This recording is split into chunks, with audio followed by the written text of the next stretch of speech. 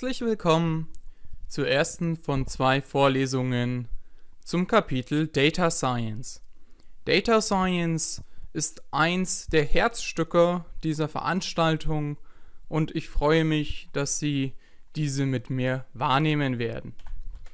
Sie sehen, wir haben bereits einen sehr langen und auch anstrengenden Weg hinter uns durch verschiedenste Bereiche der Mathematik, der Finanzmärkte, Signaltheorie, Fraktale und wir widmen uns nun den sogenannten Datenwissenschaften, Data Science, der Kunst, aus Daten Erkenntnisse zu gewinnen.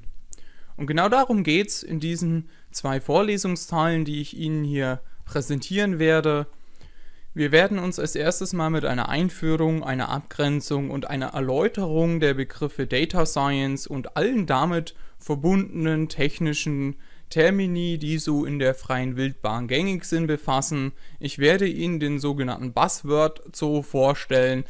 Das ist ein Sammelsurium an gängigen Begriffen, die durch Medien, ähm, Beraterchen und anderweitige Personen, die jetzt nicht so tief in den technischen Details drin sind, sehr gerne inflationär verwendet werden. Und zwar in einer Art und Weise, dass ich sage einmal für einen normalen Menschen nicht mehr ersichtlich ist, was denn eigentlich genau dahinter steht. Das werden wir ein bisschen aufdröseln. Anschließend werde ich mit Ihnen das Data Science 101 ähm, besprechen. Was braucht denn ein Data Scientist überhaupt an Fähigkeiten? Was ist ein Data Scientist überhaupt? Ähm, was tut der? Was braucht der? Und was für technische Skills sind denn nötig, um Data Science überhaupt betreiben zu können?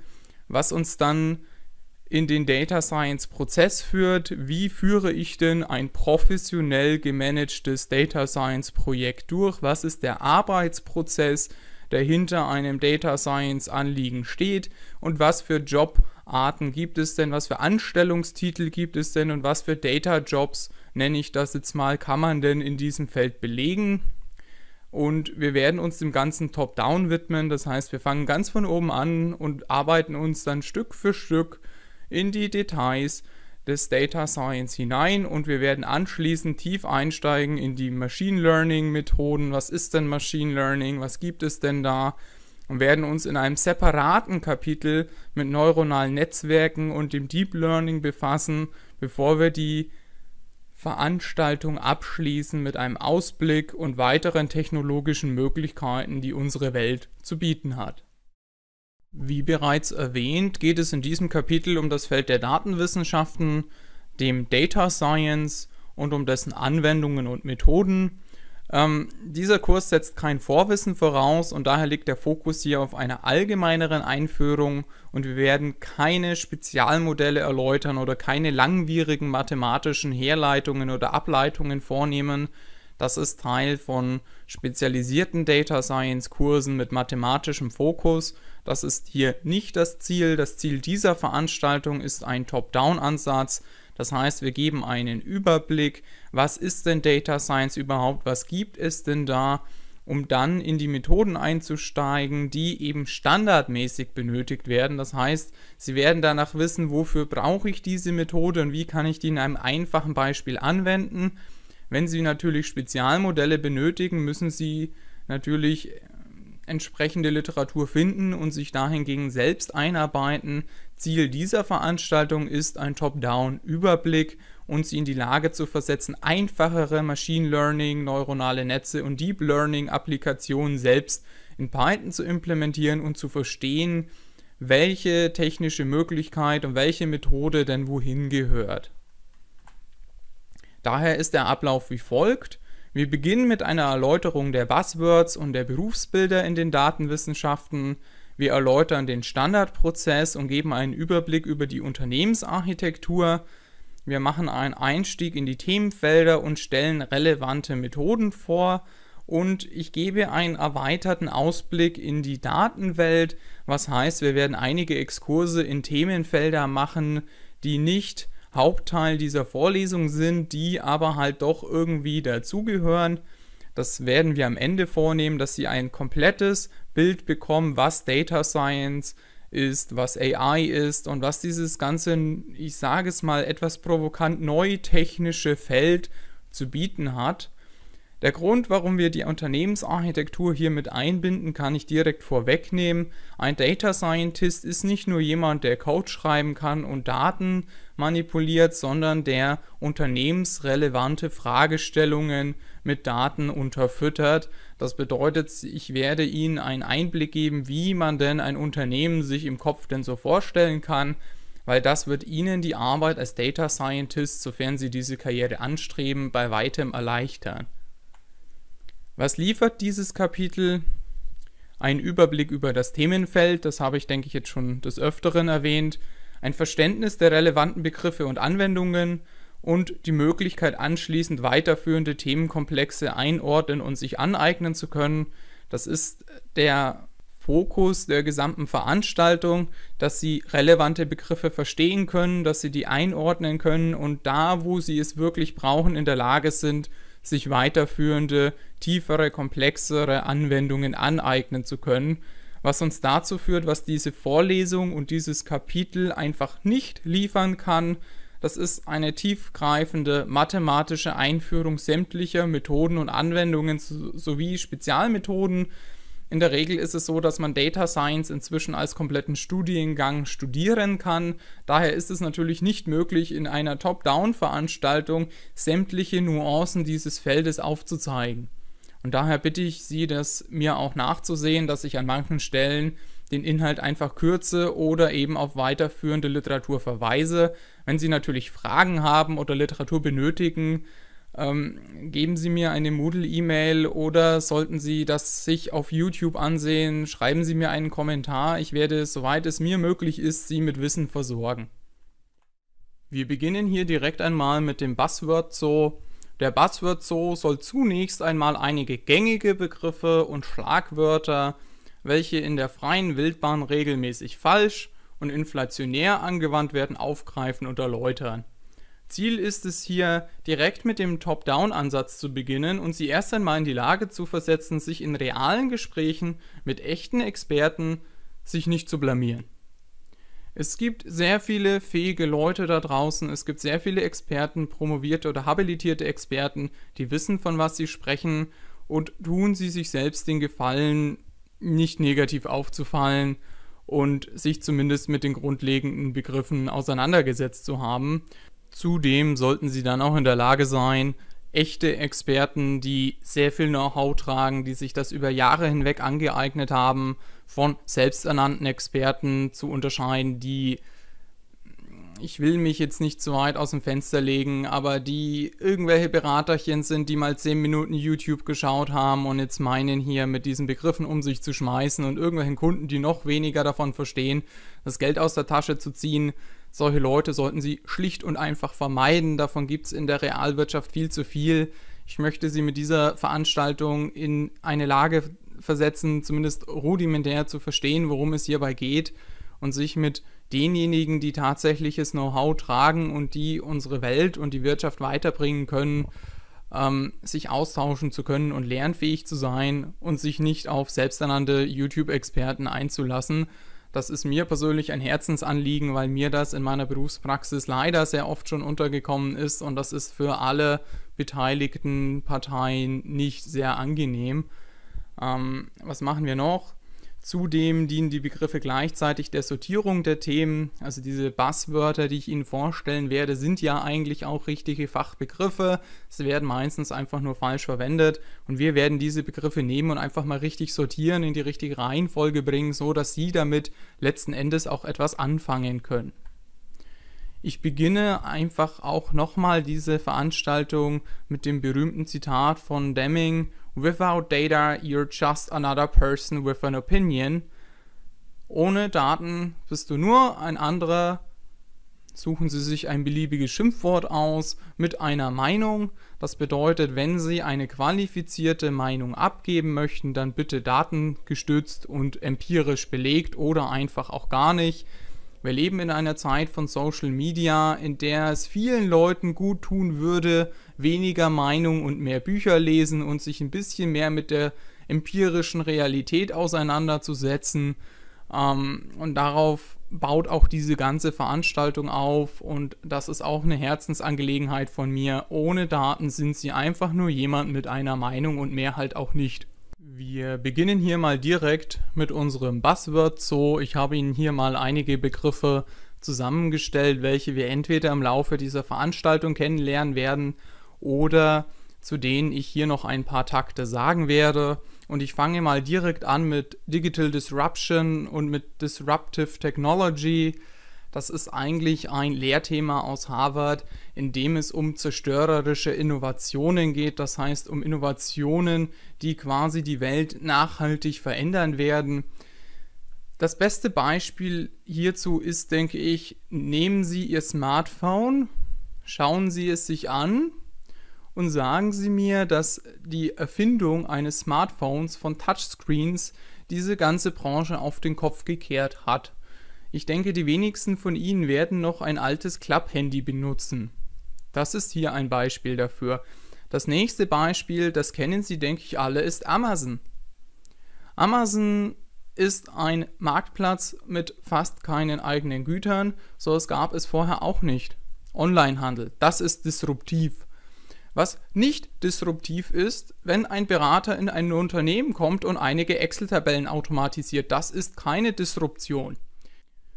Und ich muss Ihnen hier auch ganz ehrlich sagen, dass ich diese Begriffe eigentlich schon gar nicht mehr hören möchte, weil jeder Hinz und Kunz, der drei Minuten gegoogelt hat und mir irgendetwas verkaufen möchte, sagt, das ist disruptiv. Nein, ist es nicht. Ja, ich möchte Sie bitten, diese Begriffe sehr sehr, sehr sparsam zu verwenden, es sei denn, Sie haben wirklich eine Technologie, die Sie hoffentlich vorher patentieren haben lassen, die die Märkte verändern werden und die einen Impact auf unsere Wirtschaft und auf unsere Welt haben, der spürbar ist. Nur weil Sie ein paar Excel-Tabellen automatisieren oder auf einen Server parken, ist das keine Disruption. Es tut mir sehr leid, dass ich hier ein bisschen energisch bei der Sache bin. Sie merken, hier verschwimmen ein bisschen meine beruflichen und meine akademischen Welten miteinander, aber ich möchte Sie in die Lage versetzen, hier bitte ein bisschen Ordnung in den Begriffen zu halten. Die ganzen Datenbanktechnologie brauchen wir eigentlich nicht ansprechen. Das ist einfach nur eine Ansammlung relationaler Daten. Wir haben Big Data. Dazu haben wir noch einen eigenen Exkurs, bestehend aus unstrukturierten, unstrukturierten Datenmassen sozusagen, die mit normalen Mechaniken gar nicht mehr ausgewertet werden können. Wir haben neuronale Netze, Deep Learning, Data Science, Machine Learning, Artificial Intelligence. Ähm, das werden wir alles im Folgenden noch kennenlernen. Was ich hier noch ein bisschen erläutern möchte, ist Augmented Reality. Das ist zum Beispiel, wenn Sie sich jetzt eine Google-Brille aufsetzen und der Ihnen zu irgendwelchen Restaurants, die Sie sehen, weitere Informationen in Ihrem Display anzeigt oder Virtual Reality ist, wenn Sie eine VR-Brille aufhaben, wie sie Facebook zum Beispiel hat, in der Sie sich mit Ihren Körperbewegungen frei in einer virtuellen Welt bewegen können. Und ich denke, die anderen Sachen, die hier stehen, Digital Transformation, das ist dasselbe wie bei Disruptive Technology. Nur weil Sie eine Excel-Tabelle automatisieren, ist das noch keine digitale Transformation. Und das nächste Wort, was wirklich tot benutzt wurde, in meinen Augen, ist Digitalisierung. Digitalisierung in meinen Augen ist für viele Unternehmen erst einmal verbunden mit Rationalisierung und Automatisierung und Prozessklettungen und letzten Endes auch verbunden mit einer Umschichtung im Personal. Das klingt allerdings weniger sexy, wie wenn ein Unternehmen natürlich sagt, wir sind hier voll digitalisiert. Dass man dazu natürlich auch Veränderungen in ein Unternehmen bringen muss, das möchten viele natürlich immer nicht hören. Ich denke, Sie haben hier mal einen Überblick von einigen Begriffen bekommen. Die, die ich jetzt relativ schnell abgearbeitet habe, werden uns jetzt im Folgenden noch viel, viel tiefer beschäftigen, weshalb ich mich hier gar nicht so lange aufhalten möchte. Ich habe jetzt natürlich sehr viel Dampf abgelassen. Ich habe Ihnen erzählt, was was nicht ist aber wir haben uns noch nicht damit befasst, was ist denn jetzt eigentlich Data Science, was ist ein Data Scientist. Deswegen beginnen wir jetzt einfach mal mit dem Data Science 101. Was ist denn Data Science? Was ist hiermit gemeint? Und wir beginnen hiermit erst einmal einen Überblick über die Begriffe Artificial Intelligence, Machine Learning, Deep Learning und Data Science zu geben. Also künstliche Intelligenz, maschinelles Lernen, tiefes Lernen und die Datenwissenschaften. Wie hängt das denn alles miteinander zusammen? Und ich fange damit an, Ihnen auf hoher Ebene darzulegen, welche Fähigkeiten man denn als Data Scientist braucht und worauf es denn eigentlich ankommt. Daher habe ich Ihnen hier einfach mal ein Übersichtsbild gebaut. Wir beginnen doch einfach mal mit dem wichtigsten Punkt von allen. Was ist denn künstliche Intelligenz? Was ist Artificial Intelligence?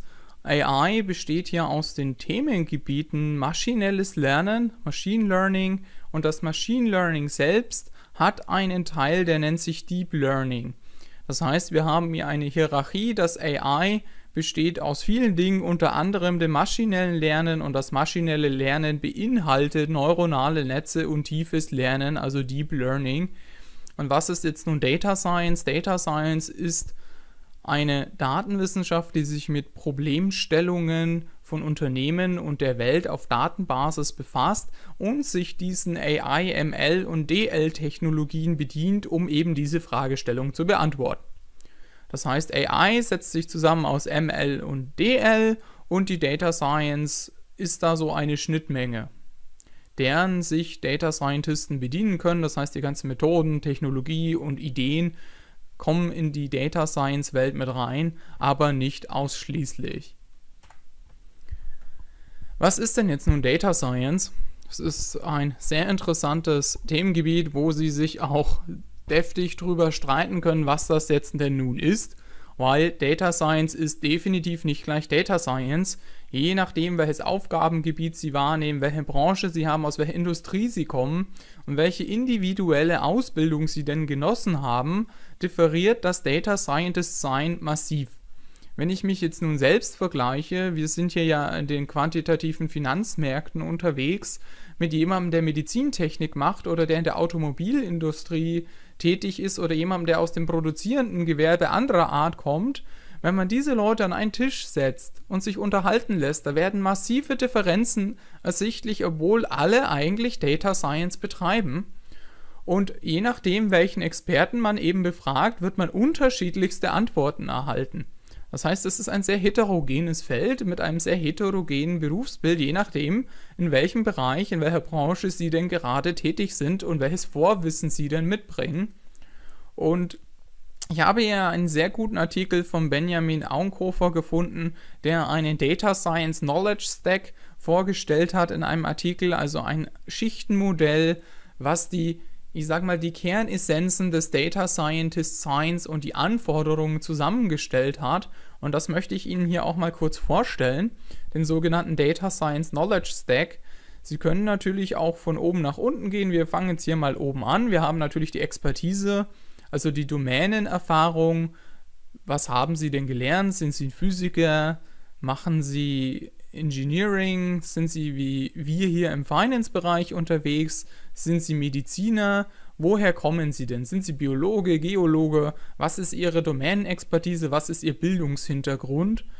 Und der fließt rein in die Data Science Methods, also was sind die Methoden? Das ist dann natürlich die Statistik, mit der wir uns hier im Rahmen der Finanzmärkte ausführlich schon befasst haben. Das heißt, das Ganze wird Sie einholen, das werden Sie später schon noch merken. Wir haben die Visualisierung von Daten, Optimisierung, ähm, maschinelles Lernen, Deep Learning Ansätze, das sind die Methoden, denen man sich hier bedient. Und dann hat man natürlich die Tools in Libraries, mit denen man das machen kann. Wenn wir jetzt zum Beispiel neuronale Netze uns programmieren möchten, können wir das natürlich von Grund auf selbst machen. Oder wir können uns massiven Bibliotheken bedienen wie Scikit-Learn und TensorFlow. Unter anderem mit den beiden werden wir uns in den Coding-Videos auch noch befassen. Und je nachdem, welche Pakete und Libraries oder Bibliotheken Sie nutzen wollen, hängt halt auch davon ab, welche Programmiersprachen Sie benutzen. Wir haben hier Python für uns auserwählt. Sie können das Ganze aber auch mit Julia und R machen oder klassisch in C++, Java oder was Ihnen sonst dazu einfällt.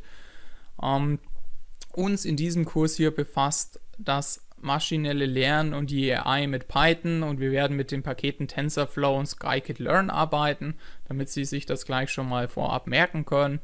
Was mache ich denn jetzt nun, wenn ich Domänenerfahrung habe, die Methoden habe, mir die Bibliotheken ausgesucht habe und eine Programmiersprache mir ausgesucht habe, dann brauche ich natürlich die Daten, ich brauche den Zugang zu den Daten und ich muss die Daten natürlich manipulieren, ich muss die transformieren in eine Art und Weise, dass ich die auch verarbeiten kann. Und das fängt an bei der Datenextraktion aus einem Datenbankensystem oder wo auch immer Sie das herbekommen. Sie müssen natürlich dann die Netzwerkarchitektur kennen, Sie müssen die Datensicherheit haben, wenn Sie in einem Unternehmen sind, vielleicht auch noch die Verschlüsselung, damit nicht die innersten Werte eines Unternehmens, die geheimen internen Daten nach außen fließen können. Das möchte man natürlich auch, auch nicht. Und unten drunter, ganz unten drunter, ist natürlich dann die Datenbanktechnologie, SQL-Datenbanken, NoSQL-Datenbanken, sonstige Formate. Zum Beispiel JSONs sind ganz nett, mit denen man arbeiten kann. Und das insgesamt gibt diesen Wissensstack, den ein Data Scientist halt eben auch mal braucht. Ähm, wir fangen von unten jetzt auch mal nach oben nochmal an. Wir brauchen Daten, die müssen irgendwo drin liegen. Da hat man normalerweise eine Datenbanktechnologie, die das tut. Dann müssen wir auf die Daten zugreifen können. Wir müssen die Daten transformieren können. Das macht man in der Regel mit einer Programmiersprache. Und damit man nicht alles von Grund auf neu coden muss, bedient man sich eben Tools und Bibliotheken wie zum Beispiel TensorFlow oder Scikit-Learn was wir in Python kennengelernt haben, Pandas und NumPy und andere wissenschaftlichen Bibliotheken.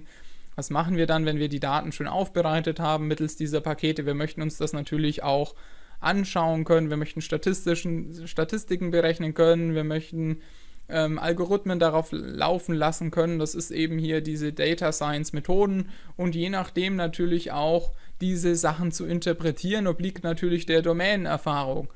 Es ist eine Sache, einen Datensatz statistisch auszuwerten mit diesen ganzen Dingen, die ich gerade genannt habe. Wenn Sie einen biologischen Datensatz haben und Sie sind jetzt aber leider ein Autobauer, dann können Sie das vielleicht mechanisch, handwerklich auswerten, aber bei der Interpretation könnte es etwas schwierig werden. Oder auch bei der Frage, welche Variablen sind denn nun relevant und welche können als obsolet entfallen, da benötigen Sie eben die Expertise, die auf Ihrem Bildungshintergrund aufbaut. Man kann das natürlich auch noch abkürzen. Die meisten Data Science Vorlesungen, die Sie im akademischen hören werden und wahrnehmen werden, sind eben etwas abgekürzt. Da geht es darum, wir haben Data Engineering, das heißt, wir bekommen irgendwo die Daten halt her und da wird der Fokus meistens eben auf diese ganzen Methoden und die Programmieranwendungen gelegt. Und das werden wir hier im Weiteren natürlich genauso machen. Und das zahnt eben in die Expertise. Die Methoden werden natürlich abweichen, je nachdem, in welchem Fachbereich Sie denn nun unterwegs sind. Und ich denke, das gibt Ihnen einen netten Überblick, was bedeutet denn Data Science? Was ist denn eigentlich alles relevant, um Data Scientist überhaupt zu sein? Und das ist unabhängig davon, in welchem Fachbereich Sie denn unterwegs sind. Diesen Stack benötigen Sie eigentlich immer, um ein Projekt überhaupt durchführen zu können. Und wenn wir gerade schon bei Projektdurchführung sind und wie ich auch vorher erwähnt habe, dass Data Science nicht nur eine Schnittmenge der AI ist, sondern auch mit Geschäftsprozessen und Unternehmen zu tun hat, möchte ich Ihnen das hier anhand der Unternehmensarchitektur einmal darlegen. Die Grafik, die Sie hier sehen können, habe ich meiner eigenen Webseite entnommen, ist aber an der Enterprise Architecture Management Guideline des Bitkom Verlags orientiert, hier sehen Sie alle Strukturen eines Unternehmens. EAM erlaubt es Ihnen, alle Prozesse eines Unternehmens vom Datenpunkt bis hin zur Strategie in einem Bild darstellen zu können. Hier gibt es ganze Frameworks, mit denen Sie Unternehmen auf einem Stück Papier oder mit professioneller Software vereint durchblicken können. Das heißt, Sie sehen, wenn Sie irgendein Datenformat ändern, welche Datenbanken betrifft das, welche Geschäftsprozesse betrifft das und ist das strategierelevant, ja oder nein. Das ist für jeden Berater, für jeden, der im Unternehmensumfeld tätig ist, ganz nett zu wissen, wie sich sowas denn zusammensetzt. Deswegen gehe ich mit Ihnen hier mal ganz kurz durch. Wir haben top-down natürlich ein Unternehmen. Unser großer Kasten hier ist unser Unternehmen. Und unser Unternehmen hat eine Strategie und ein Ziel. Und das nennt sich dann Business Strategy. Ja, das ist unsere oberste Layer, unser oberster Block ist die Geschäftsstrategie. Und aufbauend auf der Geschäftsstrategie gibt es natürlich die Business Architecture. Das heißt, wir haben unsere Geschäftsprozesse, unsere Business Processes und unsere Unit Interconnections. Das heißt, wie sind denn die Geschäftseinheiten, die Abteilungen miteinander verwoben? Welche Geschäftsprozesse gibt es denn, die dazu dienen, diese Strategien und Ziele des Unternehmens umzusetzen? Und um diese Geschäftsprozesse überhaupt laufen lassen zu können, um die überhaupt durchführen zu können, benötigen wir eine Applikationsarchitektur, in dem die IT-Services, Applications und Interfaces vorhanden sind. Das heißt, die ganzen Anwendungen, mit denen Sie Ihre tägliche Arbeit machen, beispielsweise MS Excel, ist so ein IT-Service, den Sie nutzen können, ein E-Mail-System, sonstiges. Und diese ganzen Applikationen müssen ja auch irgendwo wohnen, die müssen irgendwo zu Hause sein. Deswegen gibt es auch eine IT-Architektur, bestehend aus den Business Objects und den Daten. Und selbst wenn wir eine IT-Architektur haben und Applikationen haben, die auch wieder eine Architektur haben, fußt das Ganze auf einer technologischen Architektur, das heißt die Plattform, Infrastruktur, Hardware und den ganzen Netzwerken. Ich wiederhole das Ganze nochmal bottom-up, das heißt wir haben eine Plattform, eine technische Infrastruktur, Hardware, Computer, Server, Netzwerke. Auf diesen technischen, technologischen Architekturen bauen wir unsere IT-Architektur. Da sind unsere Business Objects drin, unsere Datenbankstrukturen, unsere Daten und unsere IT-Services, Applications, Interfaces. Das heißt, die ganzen IT-Anwendungen, die Sie benötigen, um Ihre Arbeit überhaupt durchführen zu können. Und auf Basis dessen laufen Geschäftsprozesse und sind Abteilungen miteinander verwoben. Da spielt auch das Riesenthema ähm, Identity and Access Management mit rein. Das heißt, wer darf denn was und warum? Und diese ganzen Geschäftsprozesse miteinander verwoben dienen natürlich einem Ziel und das ist die Strategie und das Ziel der Business Strategy, das heißt der Geschäftsstrategie. Und Sie können mit einem ERM das alles in einem Bild darstellen und Sie können das durchdringen. So, das hat jetzt mit Data Science erstmal ja noch gar nichts zu tun. Das ist, wie kann ich eine Unternehmensarchitektur denn grafisch darstellen und was für Bereiche gibt es denn da? Ähm, wo kommt jetzt hier Data Science mit rein? Data Science beschäftigt sich damit, anhand von Daten geschäftsrelevante Fragestellungen empirisch, statistisch oder datengetrieben zu beantworten. Und wir haben ja gerade diesen Data Science Knowledge Stack gesehen, einmal in einer weiten Definition und einmal in einer eher engeren ähm, Definition. Und ich habe Ihnen jetzt hier mal diese Broad Definition als blaue Scheibe eingefügt. Und Sie sehen, dass sich die Wissensgebiete, dieser Knowledge Stack durch die gesamte Unternehmensarchitektur hindurchzieht. Von der Strategie bis zur technologischen Struktur, die Sie benötigen, um Ihre Daten überhaupt so zu bekommen, dass Sie damit arbeiten können. Die breite Definition von Data Science ist die Schnittmenge durch Ihre Unternehmensarchitektur. Lassen Sie sich das mal auf der Zunge zergehen. Sie haben auf der einen Seite natürlich die Schnittmenge durch die AI, Machine Learning, Deep Learning und auf der anderen Seite haben Sie Ihre Enterprise-Architektur und als breite Definition von Data Science sehe ich die Schnittmenge durch Ihr gesamtes Unternehmen. Ein guter Data Scientist versteht es nicht nur, irgendwelche Algorithmen zu rechnen, sondern versteht, wo die herkommen, für was er das tut und was die Anforderungen eines Unternehmens, der Geschäftsbereiche und der Stakeholder dieses Unternehmens denn nun sind. Und wenn wir jetzt auf die, ich sage mal, engere Definition kommen, die sich nur mit den Methoden und der Programmierung befasst, sage ich das mal salopp, haben wir nicht die gesamte Unternehmensarchitektur als Schnittmenge, sondern hauptsächlich die Geschäftsprozesse und die Daten. Sage ich mal, und die Services und Applikationen, mit denen wir eben diese Visualisierungen und Auswertungen und Statistiken berechnen können. Warum habe ich jetzt so viel Zeit damit, ich sage es mal, verbracht, Ihnen das darzulegen? Mir ist es wichtig, dass Sie nicht zu der Generation Data Scientisten gehören, die denken, neuronale Netzwerke sind alles. Sie haben immer zwei Seiten. Sie haben die technische Seite des Data Scientist Science, indem sie ihre ganzen Methoden, Algorithmen, Programmiersprachen, sonstiges haben. Und sie haben den anderen Teil, und das ist der Teil, für den sie letzten Endes bezahlt werden, nämlich ein Verständnis dafür, wie funktioniert das Unternehmen, für das ich tätig bin, egal ob jetzt nun freiberuflich oder angestellt, was sind die Anforderungen der Geschäftsleitung, was ist das Ziel? Und was sind die kritischen Fragestellungen, die ich mit meinen Analysen denn überhaupt tangieren möchte. Und das fließt ganz stark in dieses Gebiet Domänenexpertise mit rein, gepaart mit einem Grundverständnis, wie funktioniert denn überhaupt ein wirtschaftlicher Betrieb, wie ist ein Unternehmen aufgebaut, welche architekturellen Hintergründe stehen denn dahinter, weil wie möchten Sie denn als Data Scientist geschäftskritische Fragestellungen datengetrieben beantworten, wenn sie dieses Geschäft noch nicht einmal durchblicken können. Deswegen habe ich Ihnen das hier nochmal etwas ordentlicher hingemalt, damit Sie das mal gesehen haben. Und das führt uns direkt hierzu, uns die Frage zu stellen, was gibt es denn jetzt an Data Science Jobs, was gibt es an Data Jobs, was ist ein Data Science Prozess? Wir haben jetzt sehr viel zur Unternehmensarchitektur gehört und dazu gehört, dass ein Data Scientist nicht nur rein technisch unterwegs ist, sondern auch ein rudimentäres Verständnis von geschäftlichen Prozessen mitbringen muss. Deswegen beschäftigen wir uns jetzt in diesem Abschnitt damit, was ist denn der Data Science Prozess und welche Jobs, welche Anstellungsarten, welche Data Jobs gibt es denn? Die Buzzword-Inflation führt natürlich auch dazu, dass die Jobrollen und Berufsbilder in den Data Science-Bereichen lange nicht wirklich klar waren. Vor allem, wenn es dann solche Stories gibt, dass ein normaler IT-Entwickler oder IT-Architekt jetzt sagt, er ist Data Scientist, weil für Data Scientist als gehypten Beruf natürlich mehr Geld bezahlt wird, effektiv für fast dieselbe Arbeit. Ähm, lasse ich jetzt einfach mal unkommentiert stehen. Ja, wir werden uns jetzt mal mit den Jobkategorien ein bisschen befassen und zwar mit den drei größten Jobkategorien, die es eben gibt.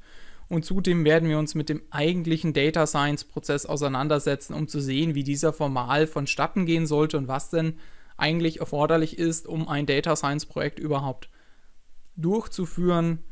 Ähm, die drei Berufe, welche ich Ihnen hier aufzeigen möchte, sind einmal der Data Analyst, der Data Engineer und der Data Scientist. Und natürlich gibt es Überschneidungen, andere Varietäten an Berufsbezeichnungen und äh, wahrscheinlich sehr, sehr viele Unterkategorien, je nachdem, in welchem Fachbereich, in welcher Branche und in welchem Unternehmen man eben tätig ist. Aber das sind so die drei großen Kategorien, die man einfach mal auseinander differenzieren muss. Ähm, und ich werde da nachher nochmal eine Anekdote dazu erzählen. Wir beginnen hier aber zunächst einmal mit dem Data Analyst. Der Data Analyst kann verschiedene Bezeichnungen und Untergliederungen aufweisen, wie beispielsweise Business Analyst, Business Intelligence Analyst, Operations Analyst, Database Analyst oder einige anderen auch.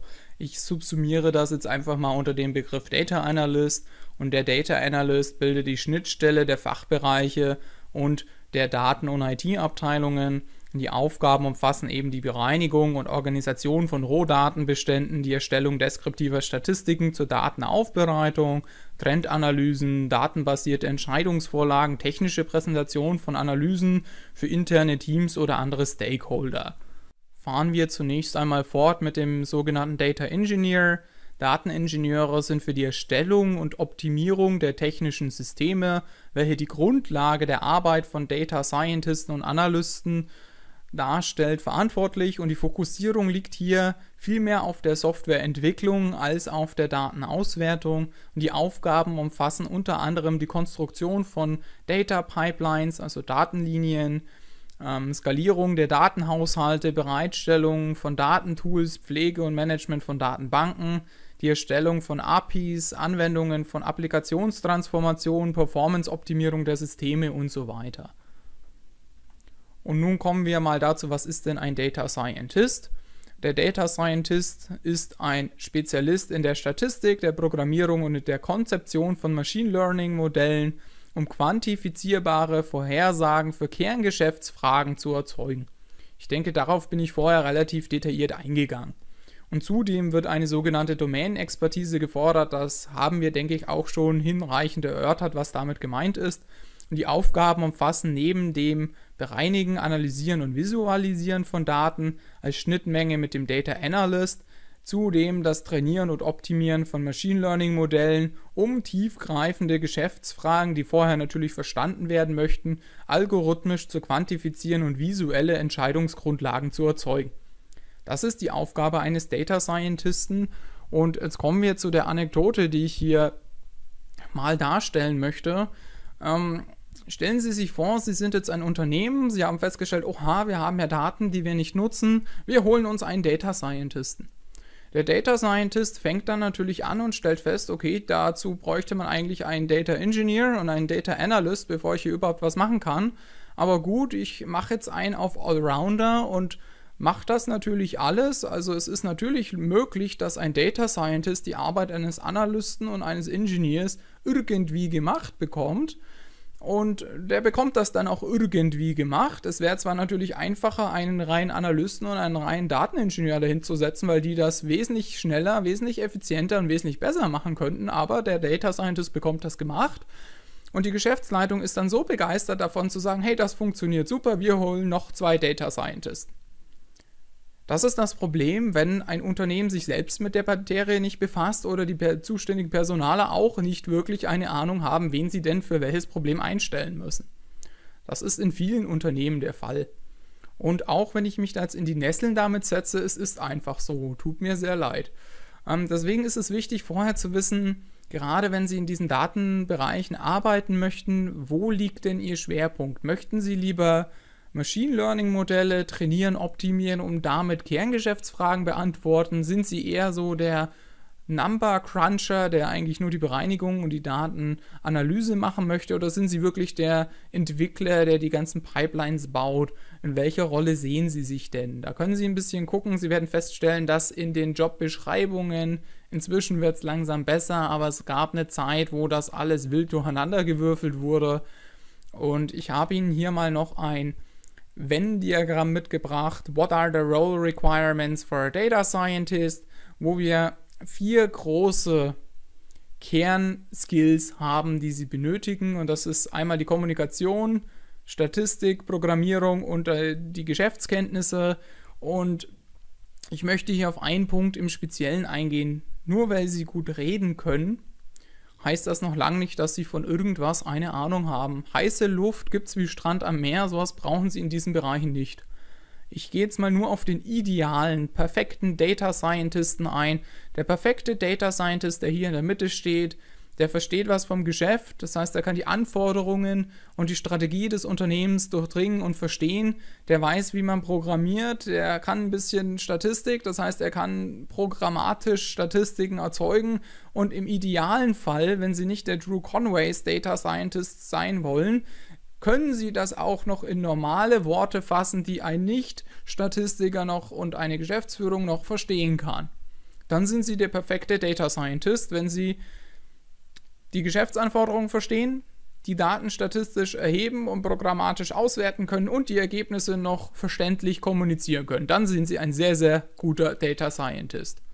Natürlich gibt es noch jede Menge außenrum, das können Sie sich ja mal gemütlich ansehen. Ähm, aber wir steigen hier jetzt erstmal tiefer ein und befassen uns mit dem Data Science Prozess, also mit dem tatsächlichen Ablauf, wie ich denn als Data Scientist diese Datenanalyse für geschäftskritische Fragestellungen überhaupt ausführen kann. Und das ist eine Abfolge der geforderten Tätigkeiten und notwendigen Arbeitsschritten, welche eben zu einem erfolgreichen Arbeitsablauf notwendig sind.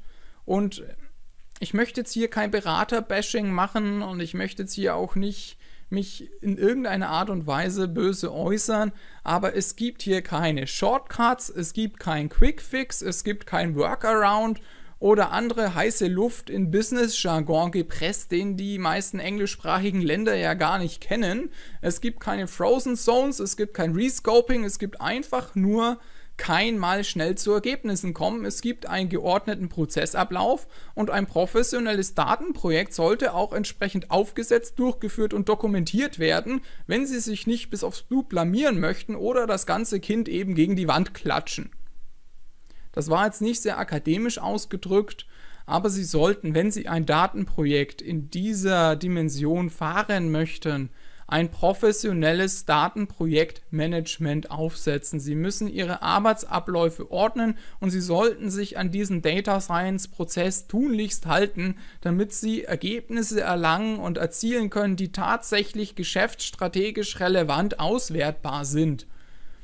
Und es ist bei Datenprojekten so wie bei allem anderen, wo nicht, ich sag mal, alle anderen Bereiche, wo keine fancy Buzzwörter auf der Tapete stehen, es gilt immer das Gigo-Prinzip. Garbage in, Garbage out. Wenn Sie ein neuronales Netzwerk mit schlechten, redundanten oder falschen Daten füttern oder unvollständigen Daten füttern, dann brauchen Sie nicht erwarten, dass dann Goldbahn am Ende rauskommt. Wenn Sie Schrott oben reinschmeißen, um es mal ganz salopp zu sagen, dann kommt auch Schrott unten raus, egal wie sophisticated und egal wie komplex Ihr Algorithmus sein wird. Warum sollten die Regeln der Standardstatistik, der angewandten Statistik nicht mehr greifen, nur weil jetzt ein anderer Name auf dem Deckel draufsteht? Sie werden es noch nicht einmal schaffen, eine Lineare zu finden, wenn ihre Daten kompletter Mist sind. Das ist jetzt für eine Vorlesung kein angemessener Tonfall. Ich möchte mich dafür auch entschuldigen. Aber aus meinem Berufsleben heraus muss ich einfach sagen, dass darauf viel zu wenig Wert gelegt wird. Da zählen schnelle Ergebnisse und wir müssen unsere Deadlines halten und bla bla bla. Tut mir leid, Fachbegriff bla bla bla. Wenn Sie ein Datenprojekt anfangen, verstehen Sie das erst. Wir werden später noch kennenlernen, welche Schritte dafür genau notwendig sind. Dazu kommen wir gleich. Tun Sie sich den Gefallen, diesen Data Science Prozess zu beherzigen, dann kommen Sie auch zu Ergebnissen, die Sie einer Geschäftsleitung vorlegen können, ohne sich danach in Grund und Boden schämen zu müssen. Wir steigen jetzt doch mal direkt ein. Wie sieht denn dieser Data Science Prozess aus? Und zwar, äh, Sie fangen an, definiere das Ziel. Was ist denn Ihre Aufgabe? Was ist denn die kritische Geschäftsfrage, die geklärt werden muss? Was benötige ich dafür auch? Das heißt, ich setze mich hin und denke erstmal nach, was möchte ich denn überhaupt? Danach hole ich mir die Daten, bereinige diese Daten, reichere diese Daten an, indem ich aus den bestehenden Daten neue Daten erzeuge. Ich manipuliere diese Daten, ich baue mir neue Variablen daraus und danach gehe ich her und schaue mir das erstmal an. Ich versuche Einsichten zu bekommen, indem ich mir erstmal ein paar Bildchen mache, um Zusammenhänge sehen zu können, die allein durch tabellarische Anschauung den meisten nicht möglich ist. Und das, wenn ich verstanden habe, was ist mein Ziel, dann habe ich Daten, die sind bereinigt, die sind enriched und die sind visuell schon mal so dargestellt, dass ich weiß, in welche Richtung ich laufen möchte. Dann, aber erst dann gehe ich her und erzeuge ein Machine Learning Modell oder einen anderen statistischen Algorithmus, der mir Ergebnisse liefert und dann fange ich von vorne an. Dann nehme ich diese Ergebnisse, denke darüber nach und schaue, ist das Ziel dasselbe geblieben oder muss ich von vorne anfangen? Das ist der Standardansatz, den Sie bitte beherzigen mögen. Es gibt hier das sogenannte OSAM Framework. Der fängt an mit Obtain, das heißt, ich sammle meine Daten ich scrubbe meine Daten, das heißt, ich bereinige meine Daten und zwar nicht nur, dass ich irgendwie Fehlformatierungen rauswerfe, sondern ich bereinige die Daten in einer Art und Weise, dass ein Computer oder ein Machine Learning Algorithmus damit tatsächlich arbeiten kann.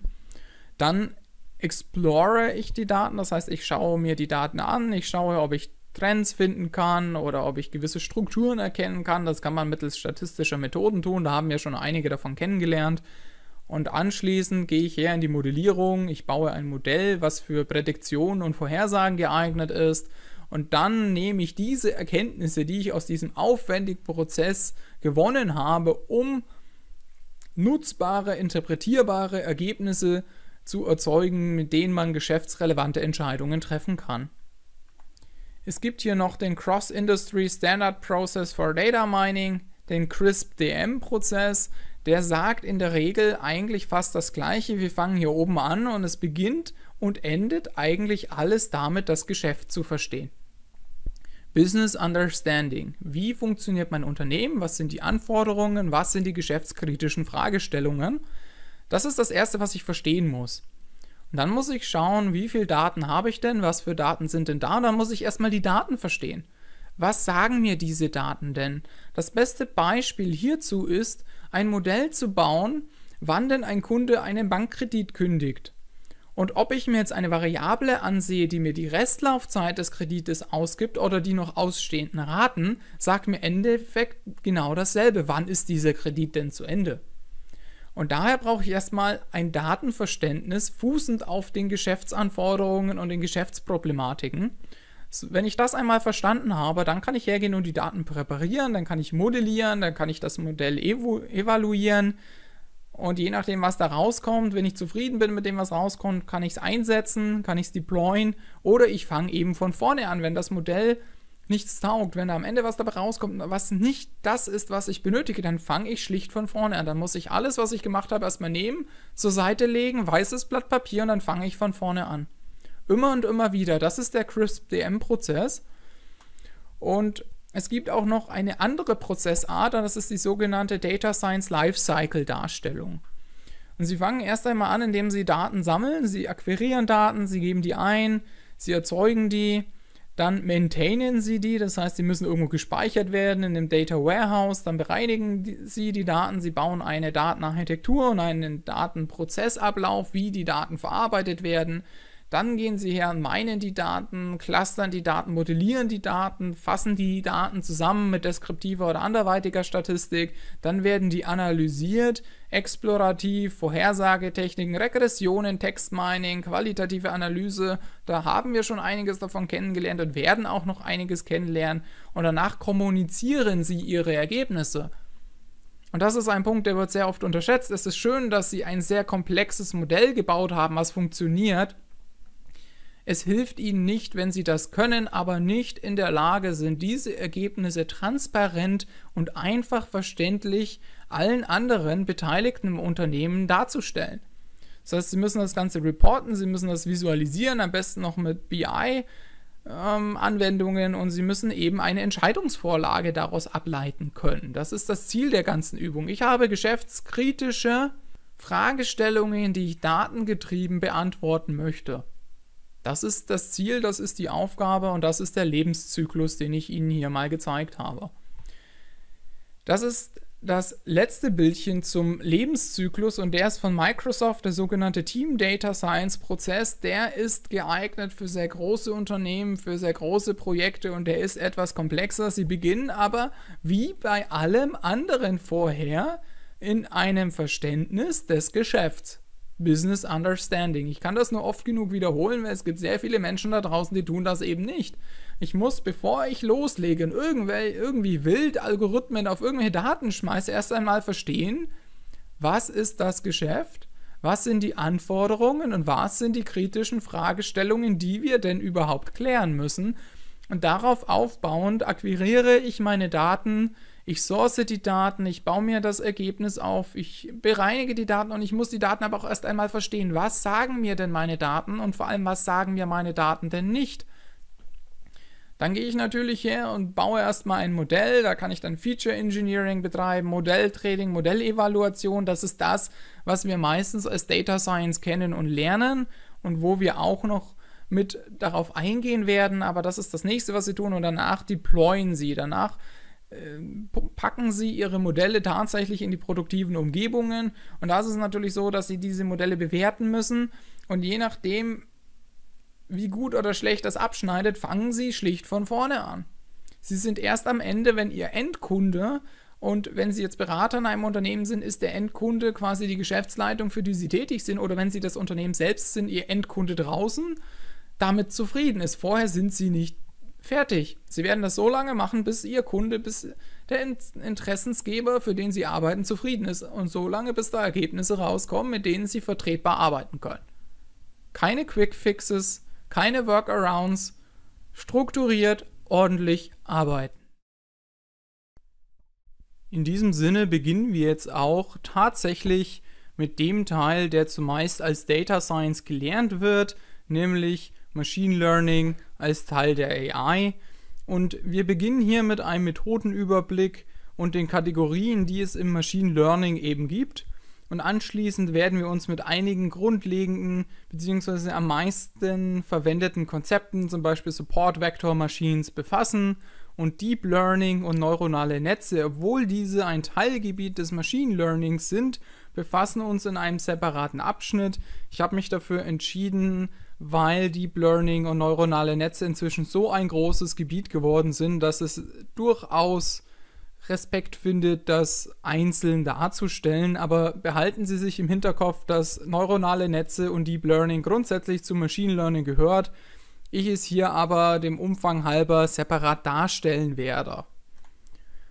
Grundlegend im Machine Learning, genauso wie in der angewandten Statistik, das kennen Sie aus den vorherigen Vorlesungen, kann man zwischen diskreten und stetigen Datensätzen unterscheiden. Und zudem, das ist jetzt neu, kann man zwischen labeled und non-labeled Datensätzen differenzieren. Das bedeutet, dass ich zum Beispiel ein Bild von einem Hund habe und ich habe noch eine Zusatzinformation, ein sogenanntes Label, was sagt, das ist ein Hund. Also die Klassifizierung des jeweiligen Datenpunktes oder der jeweiligen Variable ist hier mitgegeben oder eben nicht.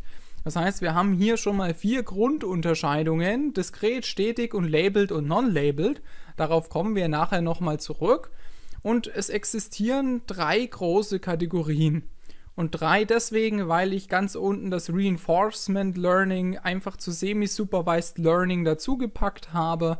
Sie werden sehen, dass es andere differierende Darstellungen auch gibt. Aber um es über einen Kamm zu scheren, haben wir drei große Kategorien: Supervised Learning, Unsupervised Learning und Semi-Supervised Learning inklusive Reinforcement Learning. Das heißt, wir haben überwachtes Lernen, unüberwachtes Lernen und so halb überwachtes Lernen.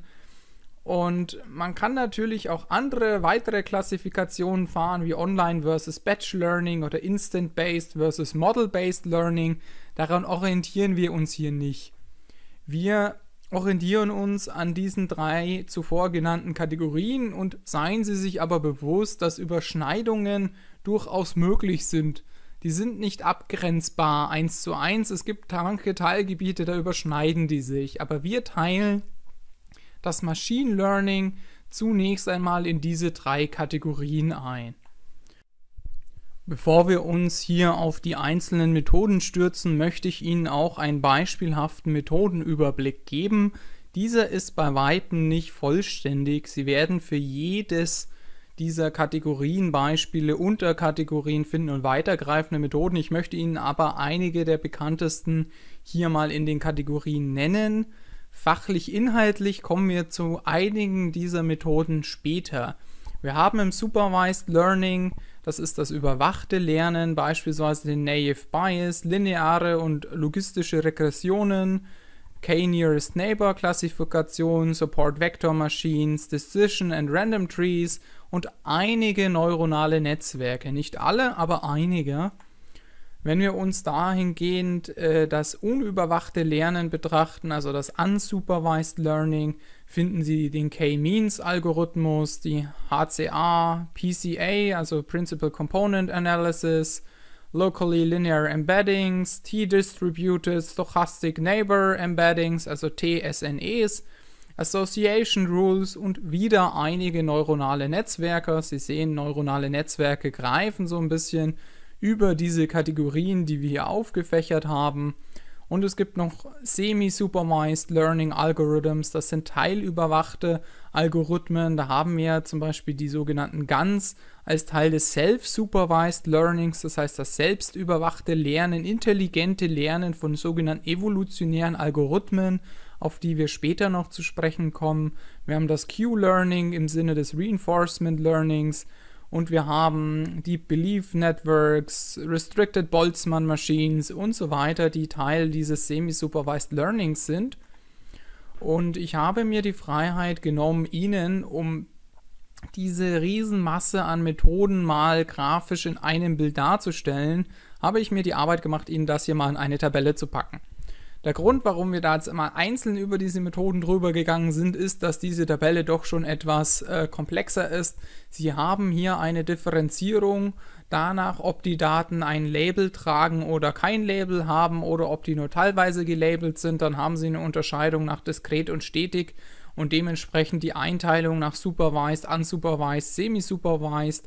Und Sie haben hier vier große Unterkategorien und zwar die Klassifikation, die Regression, die Clusterings und die Dimensionsreduktion, das heißt die Embeddings. Und zwischendrin haben Sie die semi-supervised Methoden, die Sie einmal nach self-supervised Modellierungen oder Modifikationen auf Basis des Reinforcement Learnings differenzieren können. Und ein großer Punkt, der eigentlich unsupervised und supervised mit umfassen müsste, ist die Optimization and Control. Das heißt, da gibt es genetische Algorithmen, evolutionäre Algorithmen und Varianten von tiefgehenden Netzwerken, von Deep Neural Networks, die Sie hier anwenden können. Wir werden einige davon jetzt näher besprechen. Ich möchte Ihnen allerdings hier das Ganze mal grafisch in einem Bild darstellen, dass Sie eine kompakte Handreichung haben, um eben diese ganzen Methoden, die neu aufgekocht sind, aus alten statistischen Konzepten oder komplett neu generiert wurden, einordnen können. Das ist ja eins meiner Hauptanliegen mit dieser Veranstaltung, sie in die Lage zu versetzen, diese ganze Wortgewalt, die da auf sie einprasselt, in diese Kategorien einordnen zu können. Und hier haben sie meiner Meinung nach eine ganz nette Übersicht über die ganzen Machine Learning Klassifikationen. Ich habe Ihnen das hier auch mal grafisch mitgebracht. Und zwar nicht nur mit Modellnennungen, sondern mit Anwendungsgebieten. Ich fange jetzt einfach mal links oben an im Unsupervised Learning. Bei den Clusterings haben Sie zum Beispiel Marketing, Recommender Systems, zu denen wir noch einen Exkurs später sehen werden.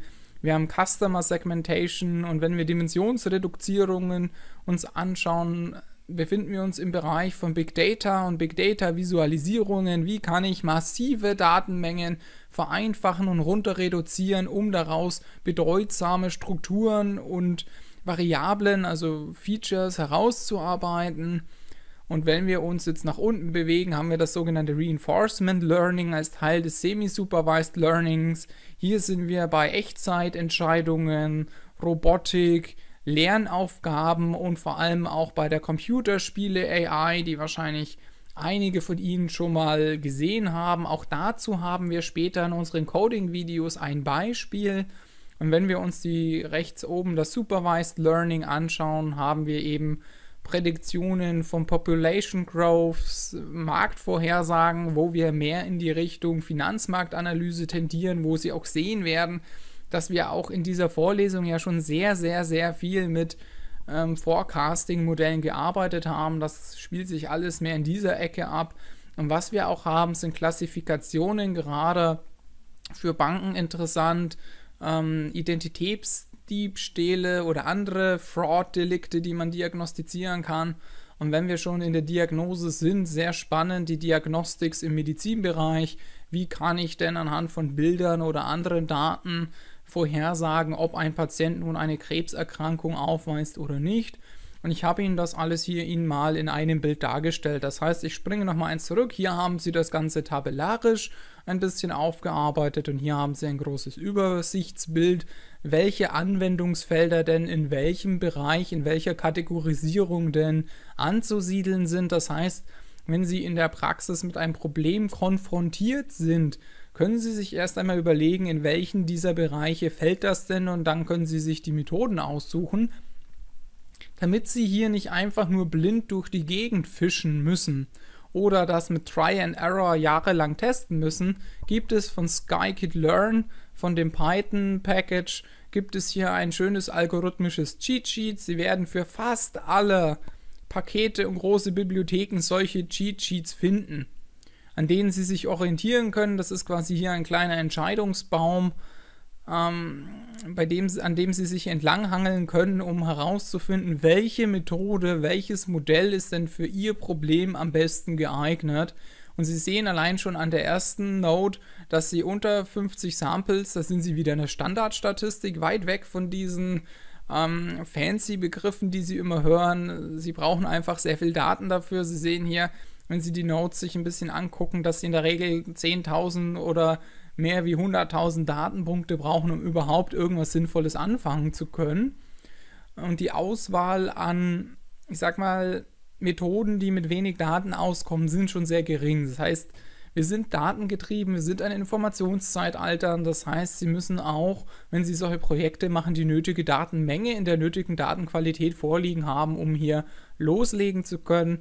Ich werde jetzt nicht auf die einzelnen Entscheidungsbäume eingehen, das können Sie sich selber ansehen. Sie können natürlich auch auf die Seite von Scikit-Learn selber gehen und sich das ansehen. Ich möchte das hier einfach nur einmal erwähnt haben, dass Sie wissen, es gibt hier verschiedene Kategorien im Machine Learning, die kann man einteilen und es gibt Entscheidungsbäume, die mir helfen, die richtigen Modelle zu finden.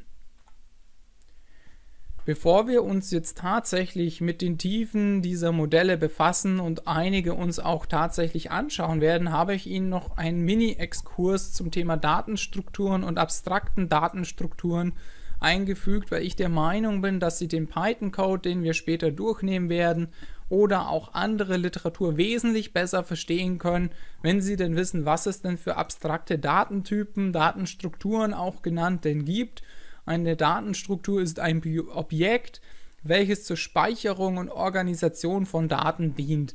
Und das ist insofern wichtig, wenn man dynamische Speicherungen vornimmt, die richtigen Datenformate dazu vorab ausgewählt zu haben.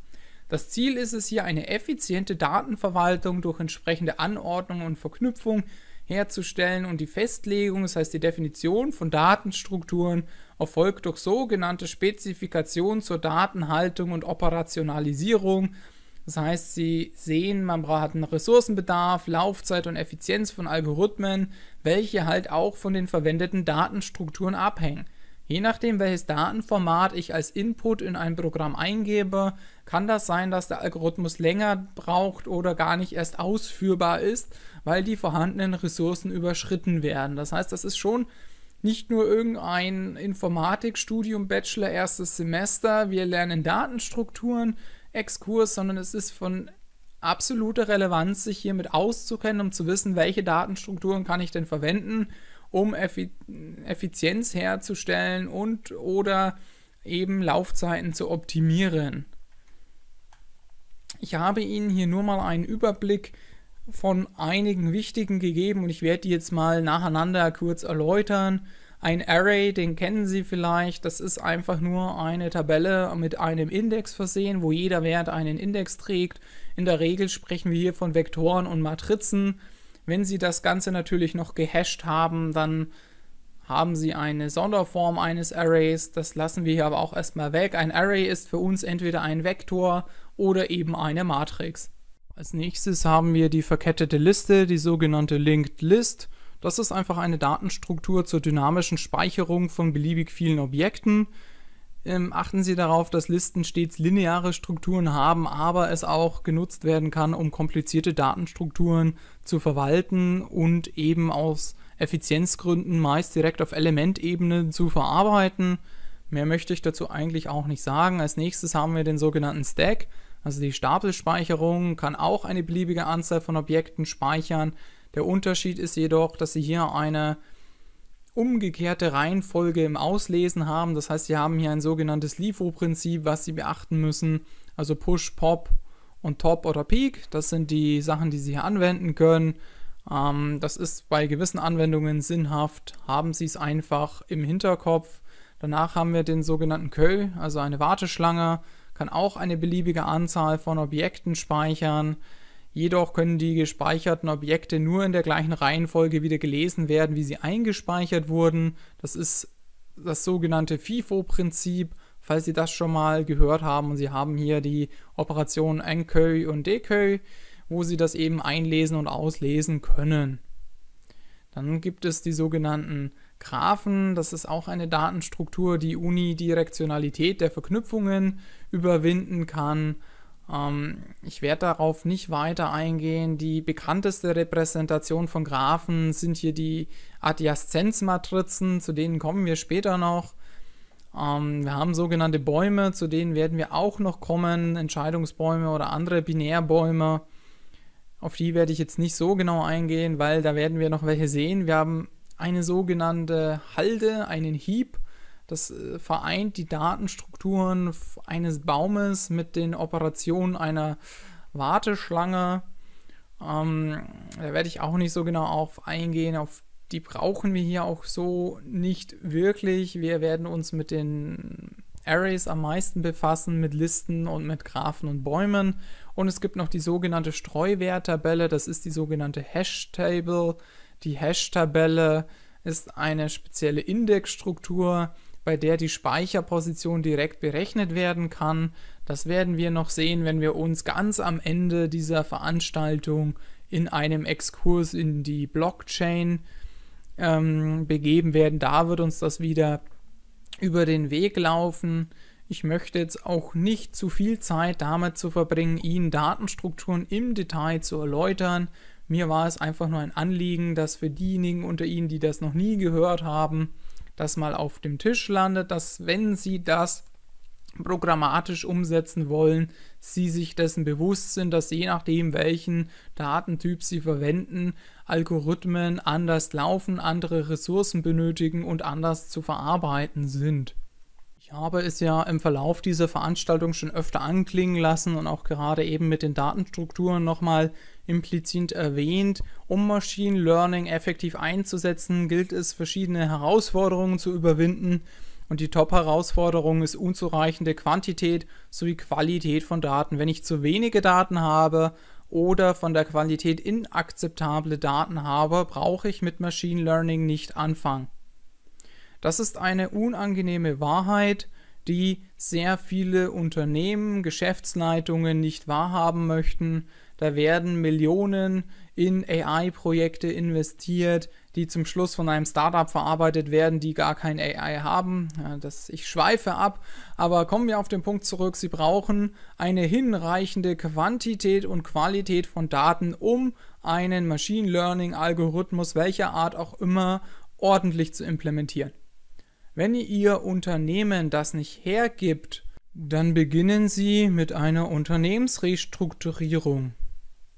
Eine Automatisierung der Datenbestände, der Erfassung der Datenbestände, des Aufbaus eines nicht redundanten einheitlichen Datenbankensystems, bevor Sie damit anfangen. Alles andere verbrennt Geld und mehr nicht. Es hilft Ihnen nichts, und es hilft Ihnen auch als Angestellter nichts, Machine Learning-Algorithmen zu implementieren, wenn die Daten nicht vorhanden sind oder die Daten, die vorhanden sind, einfach nichts taugen. Das ist eine unangenehme Wahrheit. Das ist eine Wahrheit, wo man sich auch eingestehen muss, dass das Unternehmen nicht so modern ist, wie man es sich gerne zusammenspinnt in seinem Kopf. Da trifft die Realität wirklich auf die Vorstellung mancher Führungspositionen. Und es ist einfach so, wenn die Daten nicht quantitativ und qualitativ ausreichend sind, dann hilft Ihnen dieses ganze Data Science Feld überhaupt nicht. Da brauchen Sie dann eine Unternehmensrestrukturierung und den Aufbau eines EAMs, was tatsächlich Sie in eine wirtschaftliche Lage versetzt, diese Methoden und Konzepte sinnvoll einzusetzen. Nehmen wir an, obiges ist gegeben, wir haben hinreichend viele Daten in, der, in einer notwendigen Qualität dann haben wir tatsächlich Probleme, die sich wirklich mit dem Machine Learning selbst befassen und nicht aus der Organisationsstruktur außenrum her geboren sind. Und wir fangen hier einfach mal an mit nicht repräsentativen Trainingsdatensätzen. Das ist der sogenannte Sampling Bias. Wenn ich das, sagen wir mal, neuronale Netzwerk mit Daten trainiere, die für mein Problem nicht repräsentativ sind, dann hilft mir das Ergebnis auch nicht. Sind wir, wenn wir an unseren Lebenszyklus zurückdenken, an dem Punkt, verstehe bitte die Daten. Und das nächste ist dann natürlich auch redundante oder irrelevante Daten zu haben. Und zwar nicht, weil die Quantität und Qualität falsch ist, sondern weil der Algorithmus diese nicht benötigt oder diese für die Problemstellung irrelevant oder doppelt vorhanden sind. Was dann meistens dazu führt, dass man entweder ein Over- oder Underfitting der Daten hat, wenn ich natürlich ein Algorithmus trainiere, den entweder zu lang trainiere oder falsch trainiere. Da sind wir dann wirklich in den Mechaniken und Techniken des Machine Learning selbst drin und nicht mehr in der Org-Struktur. Und um das Ganze hier nochmal deutlich darzustellen, wir machen hier ja Top-Down. Ich habe Ihnen hier mal die Schritte eines End-to-End Realdaten-Machine Learning-Projekts aufgemalt, an dem Sie sich Schritt für Schritt entlanghangeln können, und gewährleisten können, dass sie nichts vergessen und ordentlich arbeiten. Sie fangen als allererstes mal an mit einem Big Picture. Einen gesamten Überblick verschaffen. Was ist mein Unternehmen? Was ist mein Problem? Was sind die Daten? Was ist denn die Problemstellung? Und wo befinde ich mich hier überhaupt? Was ist denn das Spielfeld? Als zweites rahmen Sie das Problem ein und definieren das Ganze. Was ist denn mein Problem, was ich datengetrieben lösen möchte? Was ist meine Problemstellung, meine kritische Geschäftsfrage, die ich mittels Daten beantworten möchte? Dann wählen Sie sich ein Performance-Maß aus, an dem Sie die Qualität Ihrer Lösung messen können. Und dann setzen Sie sich erstmal hin und denken nochmal drüber nach. Sie validieren kritisch die Annahmen, die Sie getroffen haben, die Problemdefinition und die Selektionen von Performance-Maßen und anderen Prämissen, die Sie getroffen haben. Und erst dann und keine Minute vorher fangen Sie an, Daten zu sammeln, eine isolierte Arbeitsumgebung zu erzeugen und die Daten bereitzustellen oder herunterzuladen, je nachdem, in welchem Umfeld Sie arbeiten. Das ist von Essenz, dass Sie sich erst Gedanken darüber machen, was Ihr Problem ist und was Sie möchten, bevor Sie blind loslegen und Geld und Ressourcen verschwenden. Was machen wir als nächstes? Als nächstes verschaffen wir uns einen kurzen Überblick über die Datenstrukturen. Einen Auszug daraus haben Sie ja gerade gesehen. Wir erzeugen uns ein Testset. Wir entdecken unsere Daten. Wir machen eine visuelle Datenexplorationsanalyse, analysieren Korrelationsstrukturen und machen eine experimentelle empirische Attributskombinationsanalyse, wo wir einfach feststellen können, wo, woraus sind denn unsere Daten beschaffen, wie hängen die voneinander ab, was sind da Erkenntnisse, die ich daraus gewinnen kann. Und erst dann kann ich überhaupt erst damit anfangen, Machine Learning Algorithmen einzusetzen. Sie sehen, es fängt sehr viel an mit Denken, und klassischen statistischen Methoden. Data Science ist kein neu erfundenes Rad, nur weil es einen besseren Namen hat wie angewandte Statistik. Was machen wir als nächstes? Wir haben unsere Daten jetzt bereinigt, das Problem ist sauber definiert, die Daten sind aufbereitet und vorab analysiert und nun bereiten wir diese Daten für den Einsatz in einem Machine Learning Algorithmus vor. Und zwar als erstes werden die Daten bereinigt, dann wird die Verarbeitung von Text sowie kategorialen Attributen vorgenommen. Die Daten werden transformiert. Wir betreiben ein Feature Scaling, also eine Daten- und Variablenskalierung. Und dann generieren wir Transformationslinien, in denen wir eben dieses Modell einsetzen können. Und danach wählen wir unser Modell aus, also Modellselektion und Training. Das heißt, wir suchen uns ein Modell, implementieren das Ganze, trainieren das und evaluieren die Performance anhand des Trainingssets. Und wir können auch sogenanntes Cross-Evaluation nutzen, um eben diesen ganzen Prozess zu verbessern. Da implementiert man einen Validierungsdatensatz, der als neutrale Mitte gilt. Wenn das getan ist, können wir ein sogenanntes Feintuning des Modells vornehmen. Ich habe das hier als drei separate Punkte aufgelistet. Sie können auch nur eins davon nehmen. Also 15.1 bis 15.3 können Sie sich eins aussuchen oder Sie können verschiedene Sachen kombinieren. Sie haben Grid Search, randomisierte Suchmethoden oder Ensemble-Methoden, die Sie verwenden können und Sie können anschließend eine Optimierungsanalyse bester Modelle und Fehlermaße fahren, um eben das, was Sie da implementieren, noch zu optimieren.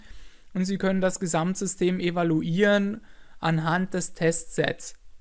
Wenn das dann alles erledigt ist, können Sie das Ganze in die Produktion überführen, implementieren und anwenden, aber da ist das noch nicht vorbei.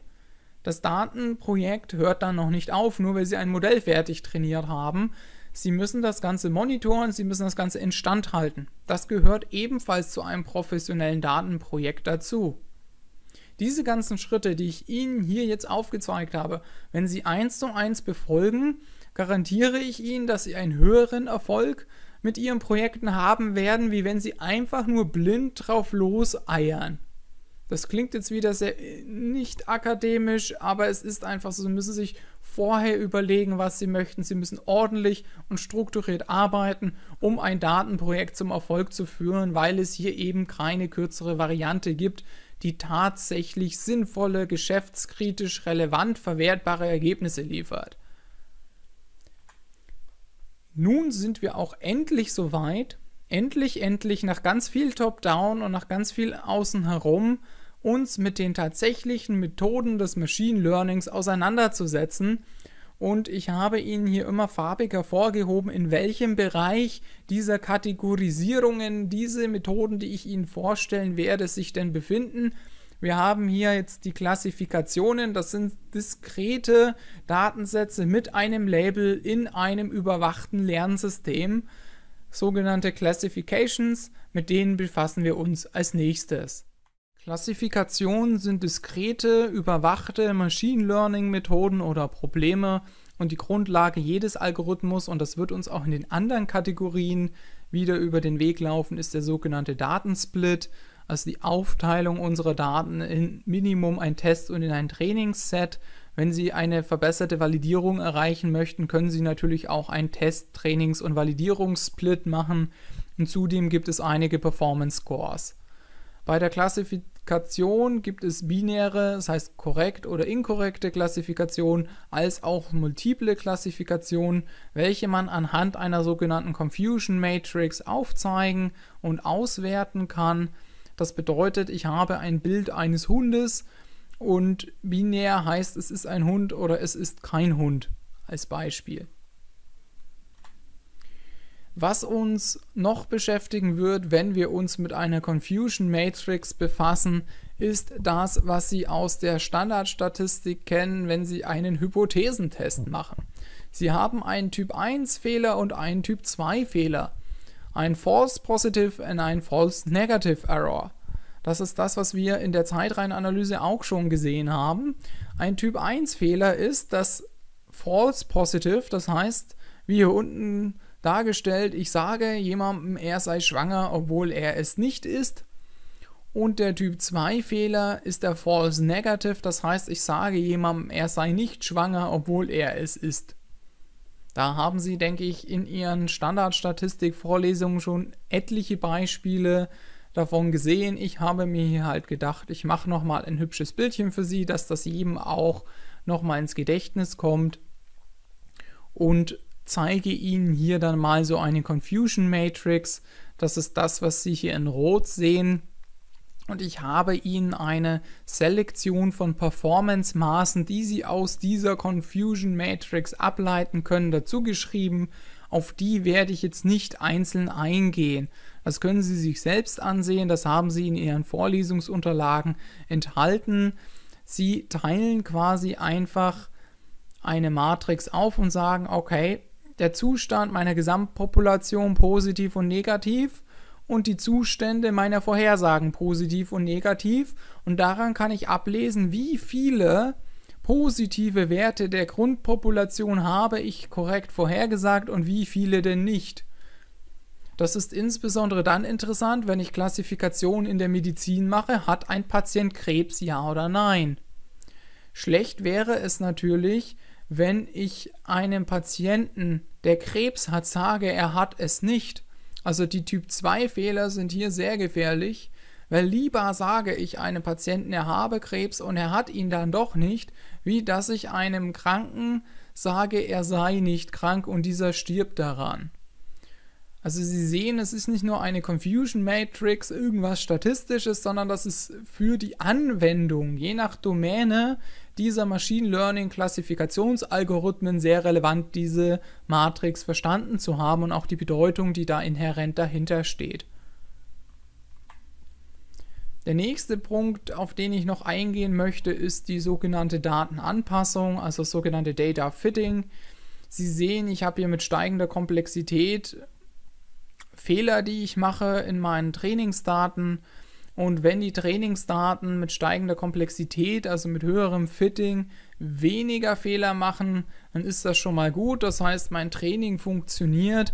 Allerdings muss ich darauf achten, dass wenn ich diesem Algorithmus neue Daten, die er nicht kennt, die nicht im Trainingsdatenset vorhanden sind, gebe, dass ich nicht overfitte. Das sehen Sie hier, die Testdaten sind unsere orange Linie und sofern die orange Linie wieder steigt, obwohl die grüne Linie, unsere Trainingsdaten, sinkt, dann bin ich im Overfitting. Das heißt, mein Algorithmus ist zu sehr auf die Trainingsdaten eingeschossen und macht dann Fehler, wenn ich ihm neue Daten präsentiere. Wenn ich natürlich zu früh aufhöre, diesen Algorithmus zu trainieren, dann kann es natürlich sein, dass ich auch größere Fehler mache, weil der Algorithmus noch nicht auf den Datensatz eingestellt ist, im Generellen. Das heißt, es ist die Gretchenfrage des Machine Learnings oder auch bei neuronalen Netzen, den richtigen Trainingsgrad zu finden, den richtigen Punkt zu finden, in dem ich weder underfitte noch overfitte. Ja, das können Sie hier sehr schön sehen und ich lasse das jetzt auch einfach mal so im Raum stehen. Wir beginnen jetzt einfach mal mit dem ersten Modell der Klassifikationen des Machine Learning, sogenannten Decision Trees, Entscheidungsbäume.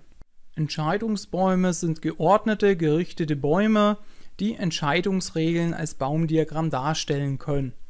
Die Darstellung entspricht einer sukzessiven hierarchischen Kaskade von Entscheidungen, das heißt aufeinanderfolgende Entscheidungen, und sie dienen zur automatisierten Klassifikation von Datenobjekten und zur Lösung von Entscheidungsproblemen, die zum Teil sehr komplex werden können.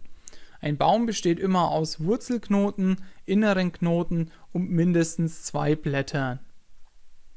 Jeder Knoten präsentiert hier eine logische Regel und jedes Blatt eine Antwort auf diese Entscheidungsproblematik.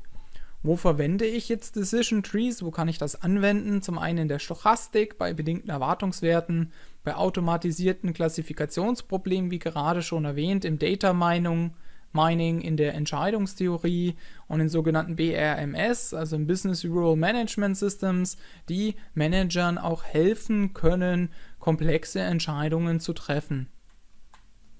Jeder Knoten gibt ein Attribut wieder, welches ausgelesen werden kann, um die Klassifikation, und das, die Klassifikation ist hier das Blatt, eines Datenobjektes zu bestimmen.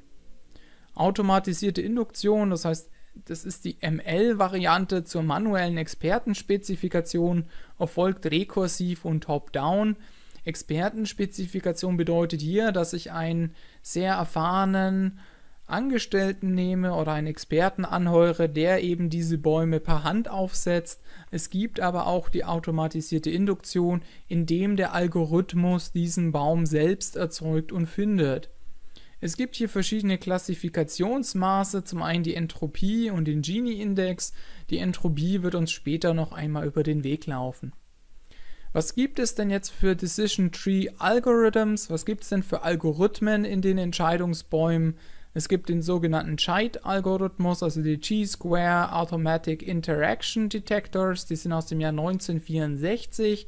Dann gibt es die sogenannten CARDS, das sind Classification and Regression Trees, das ist quasi die Erweiterung der CHIDEs und eigentlich so das, was heutzutage meistens verwendet wird. Es gibt noch die ID3, also die Iterative Dichotomizer Algorithmen und es gibt den C4.5 und den C5.0.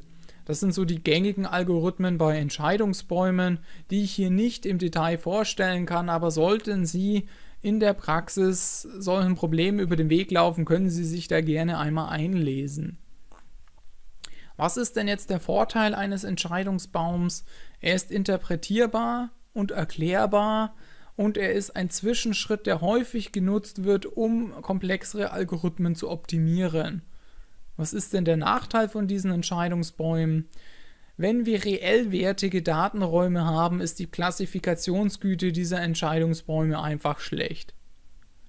Und die Größe der Bäume bei komplexen Problemen wird auch relativ umfangreich. Es gibt eine sogenannte Prunning-Methode, mit der man das in den Griff bekommen kann, aber die Größe dieser Bäume bei komplexen Problemen ist nicht zu verachten und wir haben eine sehr hohe Anfälligkeit für Overfitting. Das sollte Ihnen bewusst sein, bevor Sie sich äh, dafür entscheiden, Entscheidungsbäume zu implementieren. Was ist denn jetzt nun ein Entscheidungsbaum? Zeig mir doch einen. Ich habe Ihnen hier mal einen Entscheidungsbaum abgetragen, in dem es darum geht, soll ich ein neues Jobangebot denn annehmen oder nicht. Da habe ich hier eben meinen Wurzelknoten der mir sagt, ist das Gehalt mindestens 50.000 Euro wert, ja oder nein. Bei Nein lehne ich dies, das Jobangebot ab und bei Ja stelle ich mir die nächste Frage, da kommen dann die Entscheidungsknoten und zwar muss ich mehr wie eine Stunde zur Arbeit fahren? Falls ja, lehne ich das wieder ab. Falls nein, stelle ich mir die nächste Frage und zwar gibt es da Kaffee umsonst? Falls nicht, gibt es halt auch keinen Job-Offer, dann, dann, dann werde ich das ablehnen. Und wenn es mehr wie 50.000 Euro gibt, wo ich nicht länger wie eine Stunde fahren muss und der Kaffee auch noch umsonst für mich ist, dann nehme ich diesen Job natürlich an. Ähm, so kann man einen einzelnen Entscheidungsbaum aufbauen. Und die Blätter, die Sie sehen, sind natürlich die Aktionen, die daraus quasi sich ergeben, Annahme des Angebots oder Ablehnung. Jetzt haben diejenigen von Ihnen, die natürlich sich mit Data Science schon intensiver befasst haben, schon gemerkt, ich habe bisher nur von Entscheidungsbäumen gesprochen, von Decision Trees und ich habe noch nichts von Random Forests erzählt. Und das machen wir jetzt hier, Decision Trees versus Random Forests. Die Erweiterung der Klassifikationsgüte durch Einsatz von mehreren Entscheidungsbäumen, welche auch als Entscheidungswald, also Decision Forests bezeichnet werden, ist eben nicht verkehrt sage ich mal, Sie können diesen einzelnen Entscheidungsbaum erweitern, indem Sie mehrere Entscheidungsbäume simultan verwenden, sogenannte Decision Forests, und diese können Sie mittels Ensemble-Techniken optimieren. Hier gibt es das Boosting, Bagging und Arcing und es ist natürlich auch mit einem neuronalen Netzwerk kombinierbar. Ich habe ja vorher schon gesagt, dass die Entscheidungsbäume teilweise als Vorstufe zu weiteren Machine Learning-Algorithmen genutzt werden, zum Beispiel Tree-Based Neural Networks. Das Problem, was Sie hierbei haben, wenn Sie mit multiplen Entscheidungsbäumen arbeiten, die relativ umfangreich werden können, dass die Interpretierbarkeit durch den Menschen gar nicht mehr so einfach ist, in meiner beruflichen Laufbahn habe ich bisher sehr wenige Menschen kennengelernt, die in höheren Dimensionen gleichzeitig denken können. Und selbst dann wird das noch schwierig, wenn sie zum Beispiel 15 solcher Bäume simultan einsetzen, sich das selbst noch vorstellen zu können. Das heißt, wenn Sie von einem einfachen Entscheidungsbaum wie bei unserem Jobangebot weggehen und mehrere Entscheidungsbäume gleichzeitig verwenden, ist die Interpretierbarkeit schon ein Thema, über das man mal diskutieren kann. Was ist denn jetzt nun ein Random Forest? Randomisiert man nun die Erzeugung von Entscheidungsbäumen durch einen ML-Algorithmus, erhält man sogenannte Zufallswälder, also auch sogenannte Random Forests. Auf Basis von gewissen Maßen wird hieraus eine Entscheidung automatisiert generiert und hierbei werden meist Bootstrapping-Verfahren angewandt. Das heißt, wir haben festgestellt, ein Baum ist ein bisschen wenig, das ist zu einfach. Wir nehmen multiple Bäume und machen einen Entscheidungswald und wenn wir die Erzeugung dieser Wälder durch einen Machine Learning Algorithmus randomisieren und automatisieren, erhalten wir Random Forests, die automatisch Entscheidungen generieren können.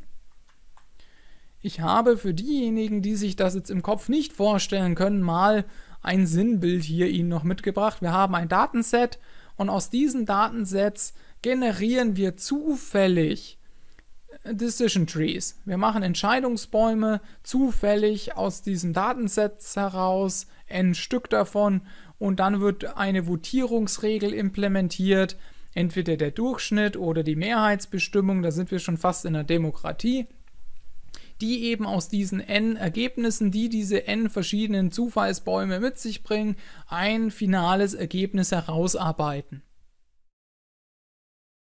Als nächstes befassen wir uns mit einer State-of-the-Art-Klassifikationsmethode, nämlich den sogenannten Support Vector Machines SVMs. Und das ist eine andere diskrete Klassifikationsmethode. Wie ich es bereits gerade erwähnt habe, bitte vermeiden Sie den Begriff Stützvektormaschine. Diese deutsche Übersetzung ist nicht gebräuchlich.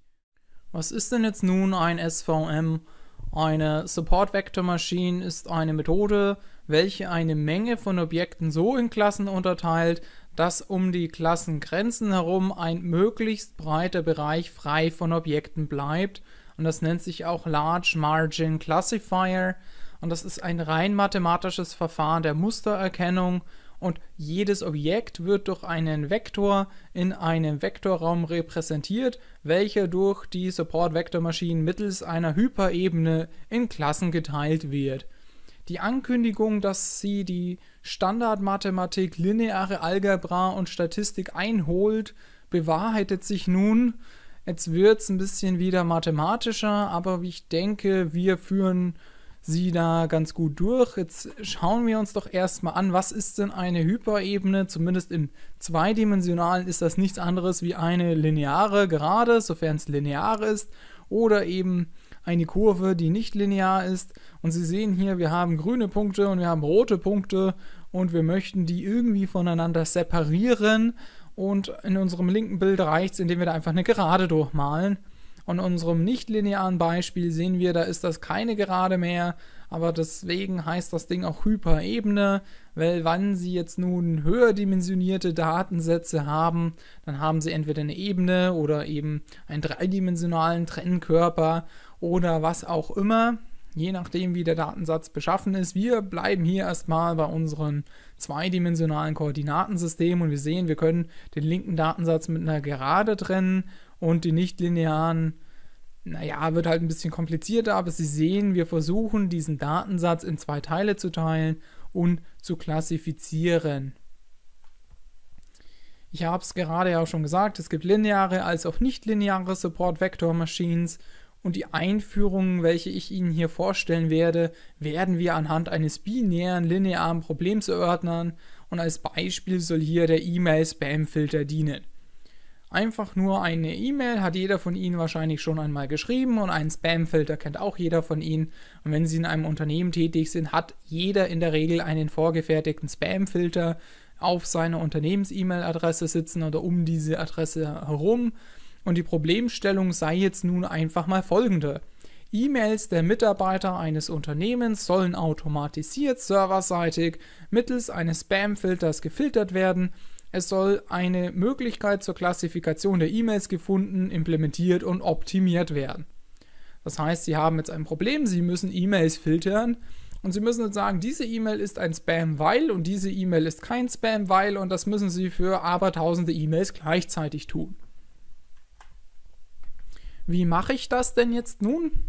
Wir haben als erstes mal einen Instanzenraum X, in dem eben n Datenpunkte drin liegen und jede E-Mail als binärer Vektor dargestellt enthalten ist. Das bedeutet, jedes Wort in dieser E-Mail bekommt einen Wert zugeordnet, einen binären Wert 0 und 1 und diese 0,1-Vektoren sind unsere x-Vektoren und die Länge dieser Vektoren sind eben die n-Datenpunkte, die in unserem Instanzenraum enthalten sind. Zudem haben wir d-Features, ähm, das heißt halt andere Variablen und Klassifikationen und Zufallsvariablen. Idealerweise haben wir da ganz, ganz viele davon, so circa um die 100.000. Und wir haben einen Klassenraum y und in diesem Klassenraum ist eben drin, ob das Ganze jetzt ein Spam ist oder nicht. Das Ziel dieser ganzen Übung ist jetzt nun die Klassifizierung eingehender E-Mails in Spam oder Ham. Also nicht Spam, E-Mails. Und daher, um das zusammenzufassen, ergibt sich ein binäres, lineares Klassifikationsproblem, wie ich das bereits schon gesagt habe. Wir haben eine E-Mail und wir müssen der E-Mail jetzt eine Klasse zuordnen, Spam oder nicht Spam. Und das machen wir anhand eben eines Instanzenraumes, in dem wir jedem Wort, die jeder E-Mail einen binären Wert zuordnen und eben jede E-Mail als binären Vektor darstellen. Binäre Klassifikation erfolgt hier mittels eines linearen Modells mit einem Grenzwert und das habe ich Ihnen hier unten mal dargestellt. Wir haben eine Funktion, die eben unseren binären Vektor x aufnimmt und die eben den Wert plus 1 annimmt, wenn die gewichtete Summe aller unserer binären Wörter eben einen gewissen Grenzwert überschreitet. Das heißt, wir haben zum Beispiel böse Wörter wie Sex, Bitcoins, Drogen, Viagra. Suchen Sie sich was aus, Sie bekommen positive Werte zugeordnet und wir haben Werte, die bekommen eine Null zugeordnet. Das ist dann zum Beispiel Akte, Unterschrift oder eben normal gebräuchliche Wörter und die werden hier gewichtet zusammengezählt. Sie können natürlich sagen, Wörter wie Drogen, Waffenverkauf oder sonstiges bekommen eine höhere Gewichtung, wie jetzt zum Beispiel das Wort Viagra. Und je nachdem gewichten Sie die Wörter jeder E-Mail. Und wenn diese Gewichtung, diese Wörter, diese Summierung einen gewissen Grenzwert überschreitet, wird das Ganze als plus 1, also als Spam klassifiziert und als minus 1, wenn dieser Grenzwert eben nicht überschritten wird, dann ist es keine Spam-E-Mail, und die Inputs für das Ganze sind eben diese reelle Vektoren x, die eben mit der euklidischen Distanz normalisiert werden und eben den Labels y, wobei y hier unsere Spam- oder Ham-Labels sind. Das Ziel ist es jetzt nun, einen Gewichtungsvektor w zu finden, der eben das Ganze hier ordentlich abbilden kann und dazu benutzen wir eben einen linearen Classifier, so wie hier dargestellt. Das heißt, wir haben hier einfach nur unsere Funktion f von x, die eben diese Kategorisierung vornehmen soll, als das innere Produkt von unseren Gewichten und unseren xen. Oder dem Vektor w und dem Vektor x. Das ist das ganze Geheimnis dahinter. Ich habe, nachdem das doch ein bisschen kompliziert für diejenigen ist, die es nicht so mit linearer Algebra haben, dann werden sie sich in den Machine Learning Algorithmen aber generell etwas schwer tun. Da wird sie die lineare Algebra wieder einholen. Ich habe Ihnen hier das mal grafisch dargestellt. Wir haben hier unseren Vektor x1, das ist eben ein Wort einer E-Mail und den Vektor x2, das ist ein anderes Wort einer E-Mail und wir haben ein Gewicht w und wir haben hier unsere Gerade wx gleich 0 Und je nachdem, was hier am Ende dabei rauskommt, haben wir eine Spam-Klassifikation oder eine Hams-Klassifikation.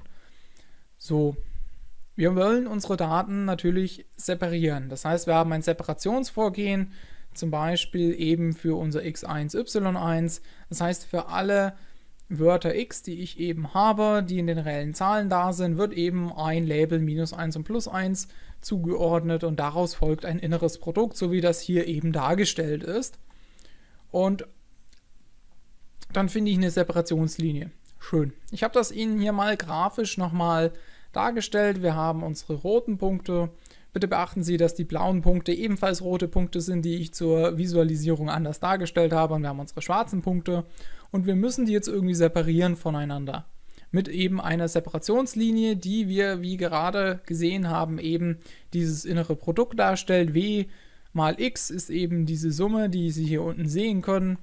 Und jetzt ist natürlich die Frage, wie lege ich denn diese Linie in mein Koordinatensystem, um eben eine richtige Klassifikation vornehmen zu können? Wenn wir jetzt die Senkrechte angucken, diese senkrechte orange Linie, die ist vom Punkt C nicht sehr weit entfernt. Das heißt, der Punkt C ist hier nicht sehr vertrauenswürdig, während der Punkt A sehr weit weg von dieser Separationslinie liegt und sehr vertrauenswürdig ist. Das heißt, die Frage ist jetzt, wie finde ich die richtige Linie? Wie finde ich die richtige Separationslinie, um diese Klassifikation ordentlich vornehmen zu können? Wie löse ich jetzt dieses Problem? Und zwar finde diejenige Hyperebene, welche die größte Margin Gamma besitzt, wobei eine Margin die Distanz des nächstliegenden Datenpunktes zur Hyperebene darstellt. Daher stellt sich nun ein Maximierungsproblem bezüglich der Margin. Ich klicke nochmal zwei Folien zurück. Sogar drei Folien zurück. Wir sehen hier unsere Separationslinie zwischen Ham und Spam. Das ist hier diese orange Linie. Das ist unsere Hyperebene. Wx gleich 0. Das ist in dem Fall hier die Separationsebene und wir sehen, dass das x2 ein Spam-Wort ist oder eine Spam-E-Mail ist und das x1 sehen wir hier, oh, das ist eine gute E-Mail, die ist in Ordnung. Und wir sagen, wir berechnen ein inneres Produkt, w mal x, für alle eben Daten und Labels, die wir haben. Und daraus ergibt sich die Separationslinie. Und wir haben hier aber das Problem, dass wir diese Linie erstmal finden müssen, weil es natürlich mehrere Wege gibt, hier eine Linie reinzulegen, die das kann. Und wir haben gerade gelernt, dass der Abstand zwischen den Punkten und meiner Linie die Margin darstellt und wir eben so eine Margin haben wollen, die so groß wie möglich ist. So, das heißt, ich möchte für meine Hyperebene eine Margin finden, die zu einer Punktewolke den maximalen Abstand hat. Das heißt, wir haben hier ein Maximierungsproblem. Und ich habe das Ihnen hier in einer anderen Grafik nochmal dargestellt. Wir haben hier unsere Separationsgeraden A und B und wir haben eine Margin um diese Gerade herum. Und Sie sehen, dass wenn ich die Gerade A nehme, ich eine wesentlich größere Breite um die Gerade außenrum habe, in der keine Datenobjekte liegen, wie bei der Gerade B zum Beispiel. Das heißt, die Gerade A wäre in diesem Fall besser geeignet wie B. Das heißt, wir kommen zurück zur Frage, wie groß ist denn der Abstand von einem Punkt zu unserer Geraden und wie maximiere ich meine Margin Gamma. Und da kommen wir zurück zur linearen Algebra, wo Sie sehen können, dass ich den Abstand zwischen zwei Vektoren a und b durch das Punktprodukt eben ausrechnen kann, wie hier eben dargestellt. Wenn ich die Länge a mal die Länge b mal den Cosinus zwischen den beiden Vektoren nehme und dann kann ich das bitte ausrechnen. Wie sieht das denn Ganze jetzt nun grafisch aus? Wir haben unsere Separationslinie L, wir haben unseren Gewichtungsfaktor unseren Gewichtungsvektor W und wir haben unseren Punkt A. Und ich möchte jetzt wissen, okay, wie sieht das Ganze denn aus? Ich habe zum einen den Abstand der gerade L zu unserem Ursprung 00 und ich habe unseren Punkt A, unseren Punkt H und ich möchte jetzt die Distanz haben, D von A zu L. Das heißt, ich möchte wissen, wie weit sind denn A und H. Diese Distanz möchte ich denn bitte haben. Wie weit ist denn mein Punkt A von der Separationslinie L weg? die meine E-Mail A trennt zwischen Spam und Nicht-Spam. Für diese Separationslinie in der Grafik, die ich Ihnen gerade gezeigt habe, gilt Wx plus b ist gleich 0. Und das ist hier in dem Fall W1 mal x1 plus W2 plus x2 plus b, wie ich das Ihnen gerade gezeigt habe in unserem Punkt A. Und ich berechne hier die Distanz und für die Distanz, ich habe Ihnen das hier grafisch einmal dargestellt, wie das formal vonstatten geht. Ich werde jetzt nicht näher darauf eingehen. Ich denke, lineare Algebra kann jeder von Ihnen und ansonsten müssen Sie sich das halt mal ausrechnen. Ich berechne auf jeden Fall die Distanz von meinem Punkt A zu meiner Separationsgerade. L und für die Vorhersage gilt demnach das Vorzeichen dieser Gerade mit Konfidenzniveau Wx plus b mal y und für den iten-Datenpunkt gilt eben, dass die Margin dieses Datenpunkts nichts anderes ist wie Wxi plus b mal yi und die größtmögliche Margin ist daher die Maximierung dieses Gewichtungsvektors w, während ich die Margin eben minimiere. Das heißt, ich möchte die minimale Margin bei maximalem w. Das heißt, ich möchte die maximale Margin eben für jedes i und dafür, dass jedes gelabelte Datenpunkt hier in unserem Datensatz Minimum die Margin Gamma hat, wie es hier unten eben dargestellt ist. Und genau dieses Maximum findet eben diese Support-Vektor-Maschine. Ich habe Ihnen hier das nochmal grafisch dargestellt. Wir haben hier unsere Separationslinie Wx-b gleich 0. Und Sie sehen, dass der blaue Punkt und der grüne Punkt, der genau am Rande der Margin liegt, eben Minimum diese Margin als Abstand haben, wenn nicht größer. Und ich habe Ihnen ja vorher gesagt, es gibt nicht nur eine lineare Hyperebene, es gibt auch nicht lineare Hyperebenen. Hierfür, für nichtlineare Separationen, gibt es den sogenannten Kernel-Trick, welcher durch Wladimir Entwapnik bekannt gemacht wurde. Und hier wird das Punktprodukt der Vektoren durch nichtlinear spezifizierte Kerndichtefunktionen ersetzt, was es eben erlaubt, nichtlineare, höher dimensionierte Datensätze ebenfalls zu klassieren und eben einer Ham- oder Spam-Klasse zuzuordnen und nichtlineare SVMs sind nicht Teil dieser Veranstaltung, folgen aber demselben Ziel der Klassifikation der Daten, wie wir es eben gesehen haben für unsere Ham-Spam-E-Mail-Filter. Ich rekapituliere das Ganze noch einmal. Ich springe hier noch einmal ein gutes Stück zurück hierher. Wir haben verschiedene E-Mails, die hier reinkommen, Spam- und Ham-E-Mails und wir möchten diese E-Mails klassifizieren. Wir möchten die einteilen in sind es Spam-E-Mails oder nicht. Und wir machen das Ganze mit einer Separationslinie. Wir haben hier A oder B und wir haben gerade gelernt, dass wir diejenige Linie nehmen sollen, welche eben die Margin maximiert. Und wir sehen hier, dass die Gerade B einen sehr geringen Abstand hat zu den Punkten, während bei der Gerade A die Margin eben maximiert ist. Wie das nun formal vonstatten geht, habe ich Ihnen hier gerade gezeigt. Und wir sehen, dass die Support Vector Machine die Margin in der Art bestimmt, dass der minimale Abstand zwischen jedem Punkt und der Separationslinie gleich Gamma ist. Das bedeutet, wir suchen uns eine Linie in der Art, dass jeder Punkt Minimum Gamma entfernt von dieser Linie ist und dieses Gamma maximieren wir. Der Vorteil davon ist, je, je größer dieses Gamma ist, desto verlässlicher ist unsere Separation und desto sauberer ist die Einteilung zum Beispiel der E-Mails in Spam und Nicht-Spam. Damit sind wir mit der Klassifikation am Ende und wir befassen uns jetzt mit den stetigen Datensätzen des Supervised Machine Learnings, nämlich den Regressionen, den Regressions. Regressionen sind stetige Supervised Machine Learning Methoden oder Probleme.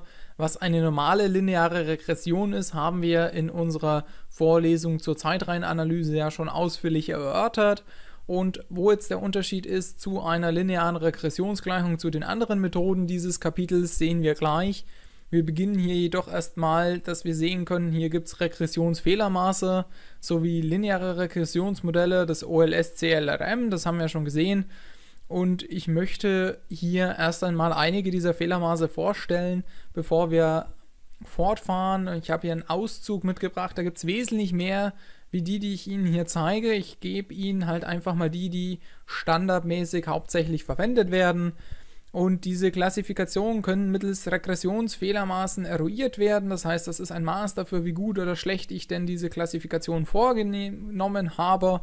Und es gibt hier zum Beispiel den Mean Absolute Error, den Mean Squared Error und den Root Mean Squared Error. Die werde ich Ihnen hier erstmal vorstellen. Der Mean Absolute Error ist nichts anderes wie der Schnitt über die Abweichungen, die absoluten Abweichungen zwischen meinem echten Datenpunkt und meiner Schätzung. Ich denke, das haben wir in den linearen Regressionskapiteln in der Zeitreihenanalyse schon gesehen, dass ich ja eine Punktewolke habe, da lege ich eine Gerade rein und dann habe ich meine Abweichungen zwischen meinen realen Datenpunkten und meiner Gerade und genau das misst mein Mean Absolute Error auch. Ich habe meinen realen Datenpunkt yi und ich habe meine Schätzung y Dach i und da den Betrag davon, also das Absolute davon aufsummiert und durch die Anzahl geteilt, gibt eben mein Mean Absolute Error. Der Nachteil davon ist, dass das MAE keine Bestrafung für Outlier, das heißt große Fehler besitzt. Wenn wir uns jetzt den Mean Squared Error anschauen, ist es natürlich so, dass wir diese Abweichungen quadrieren. Das ist das, was wir aus der linearen Regressionsanalyse ebenfalls kennen. Das ist von der Systematik her das gleiche. Wir summieren und machen einen Durchschnitt über die quadrierten Abweichungen und eine Quadratur großer Werte gibt natürlich noch größere Werte, weswegen wir hier eine Bestrafung für große Fehlerwerte, sogenannte Outlier, haben. Das Problem, was wir haben, ist, dass wir eine Quadratur vornehmen und diese nicht mehr wirklich interpretieren können. Daher gibt es den Root Mean Squared Error RMSE, was nichts anderes ist wie die Wurzel der MSE, was bedeutet, dass wir hier eine y-Dimension wiederherstellen. Das heißt, wir können quasi die Fehlerwerte in y-Dimension angeben und somit auch interpretieren. Nachdem wir uns im Laufe dieser Veranstaltung ja schon ausführlich mit dem normalen CLRM-Regressionsmodell befasst haben, beschäftigen wir uns hier jetzt mit der sogenannten logistischen Regression. Und Klassifikationen mittels dieser logistischen Regression verwendet man dann, sofern die Annahmen des klassischen Regressionsmodells nicht gegeben sind, beispielsweise Normalverteilung der Residuen, Homoskedastizität und die ganzen anderen Eigenschaften, die wir im Laufe dieser Veranstaltung schon kennengelernt haben. Das sogenannte Logit-Modell löst hier zuverlässiger Probleme, welche eben mittels des klassischen Regressionsmodells zu Fehlspezifikationen führen kann, unter der Bedingung, dass keine Multikollinearität vorliegt. Das bedeutet, dass eine Variable eine Lineartransformation einer anderen Input-Variablen ist es gibt noch eine Erweiterung der Logit-Modelle, das sind sogenannte Probit-Modelle, auf die wir hier auch nicht eingehen werden. Wo wende ich denn diese Logistic Regressions an? Ich kann wieder unsere E-Mail-Spam-Filter-Klassifikation damit machen. Ich kann Credit Defaults, also Kreditausfallbestimmungen vornehmen, Diagnostik in der Medizin und eben die anderen Bereiche, die ich Ihnen schon vorgestellt habe. Und wie funktioniert das denn jetzt genau? Die abhängigen Variablen sind meist diskret, während die unabhängige Variable ein beliebiges Skalenniveau aufweisen kann. Normalerweise geht man von dichotomen, also binären abhängigen Variablen aus oder zerlegt diese zuvor mittels Dummy-Variablen in solche und kodiert diese eben mit 0 und 1. Und die Modellierung solcher Variablen kann zwar mittels des klassischen Regressionsmodells als Vorhersage der Wahrscheinlichkeiten interpretiert werden. Allerdings ist es jedoch so, dass gerade bei diesen Klassifikationen wir entweder eine 0 oder eine 1 haben möchten und bei dem klassischen Modell halt auch Werte außerhalb dieses Bereiches möglich sind. Und das sind einfach, ich sage mal, Eigenschaften, die wir nicht möchten. Und was mache ich jetzt bei der logistischen Regression? Durch Transformation des Erwartungswertes der abhängigen Variablen löst das Logit-Modell, also die logistische Regression, diese Problematik und ich bekomme hier eine binomiale logistische Regressionsfunktion. Die ist hier grafisch oder formal einfach mal dargestellt. Und für diejenigen, die sich schon ein bisschen mit Deep Learning und neuronalen Netzen auseinandergesetzt haben, denen müsste jetzt hier ein Licht aufgehen, weil man stellt nämlich fest, dass dies die Sigmoid-Funktion ist, welche wir eben im Kapitel zu neuronalen Netzen noch kennenlernen werden. Das ist eine Aktivierungsfunktion, derer wir uns später noch bedienen werden. Und ich habe Ihnen hier einfach mal ein Beispiel mitgebracht, ähm, wie denn so eine logistische Funktion, eben diese Sigmoid-Funktion aussehen kann. Wir haben hier auf der y-Achse die Wahrscheinlichkeit, ein Examen zu bestehen und auf der x-Achse die Stunden, die Sie da benötigen zum Lernen.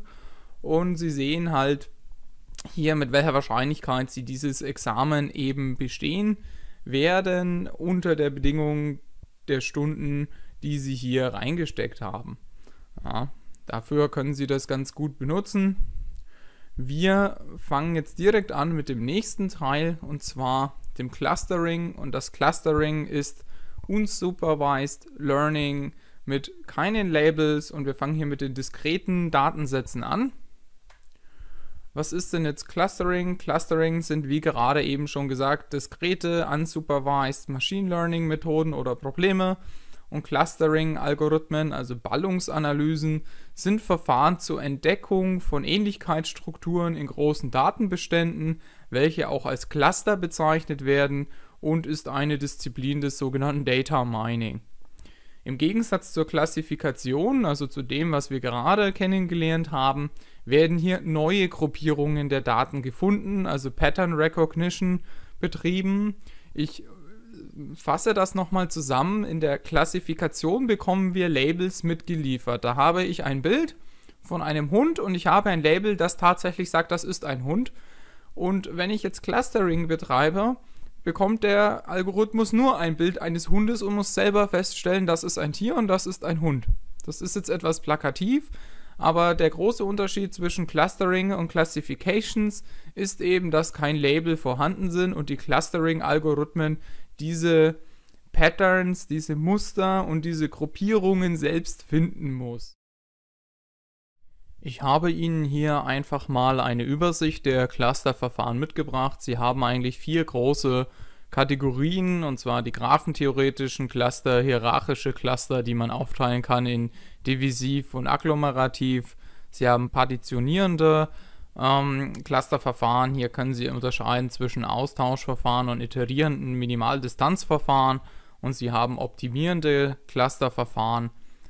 Ähm, nachdem wir hier eine Top-Down-Veranstaltung machen, habe ich Ihnen hier einfach mal ähm, Beispiele der jeweiligen Kategorien mitgebracht. Bei partitionierenden Clusterverfahren haben Sie den K-Means-Algorithmus, K-Means++, ähm, den K-Median-Algorithmus mit Manhattan-Distanzen, K-Medioids, ähm, also den sogenannten PAM-Algorithmus, Fuzzy Cs, ähm, EM-Algorithmus und Affinity Propagations, wenn Sie die hierarchischen Clusterverfahren sich anschauen, haben Sie die Diana-Analyse, Distanz- und Ähnlichkeitsmaße, Single Linkages und Wortmethoden.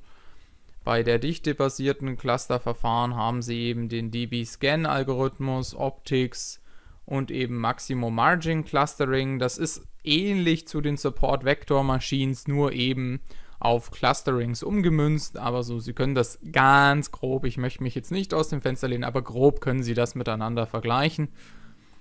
Und Sie haben kombinierte Clusterverfahren, da haben Sie die Spektral-Clustering, also das sind Graphenknoten mit Adjazenzen, Matrizen.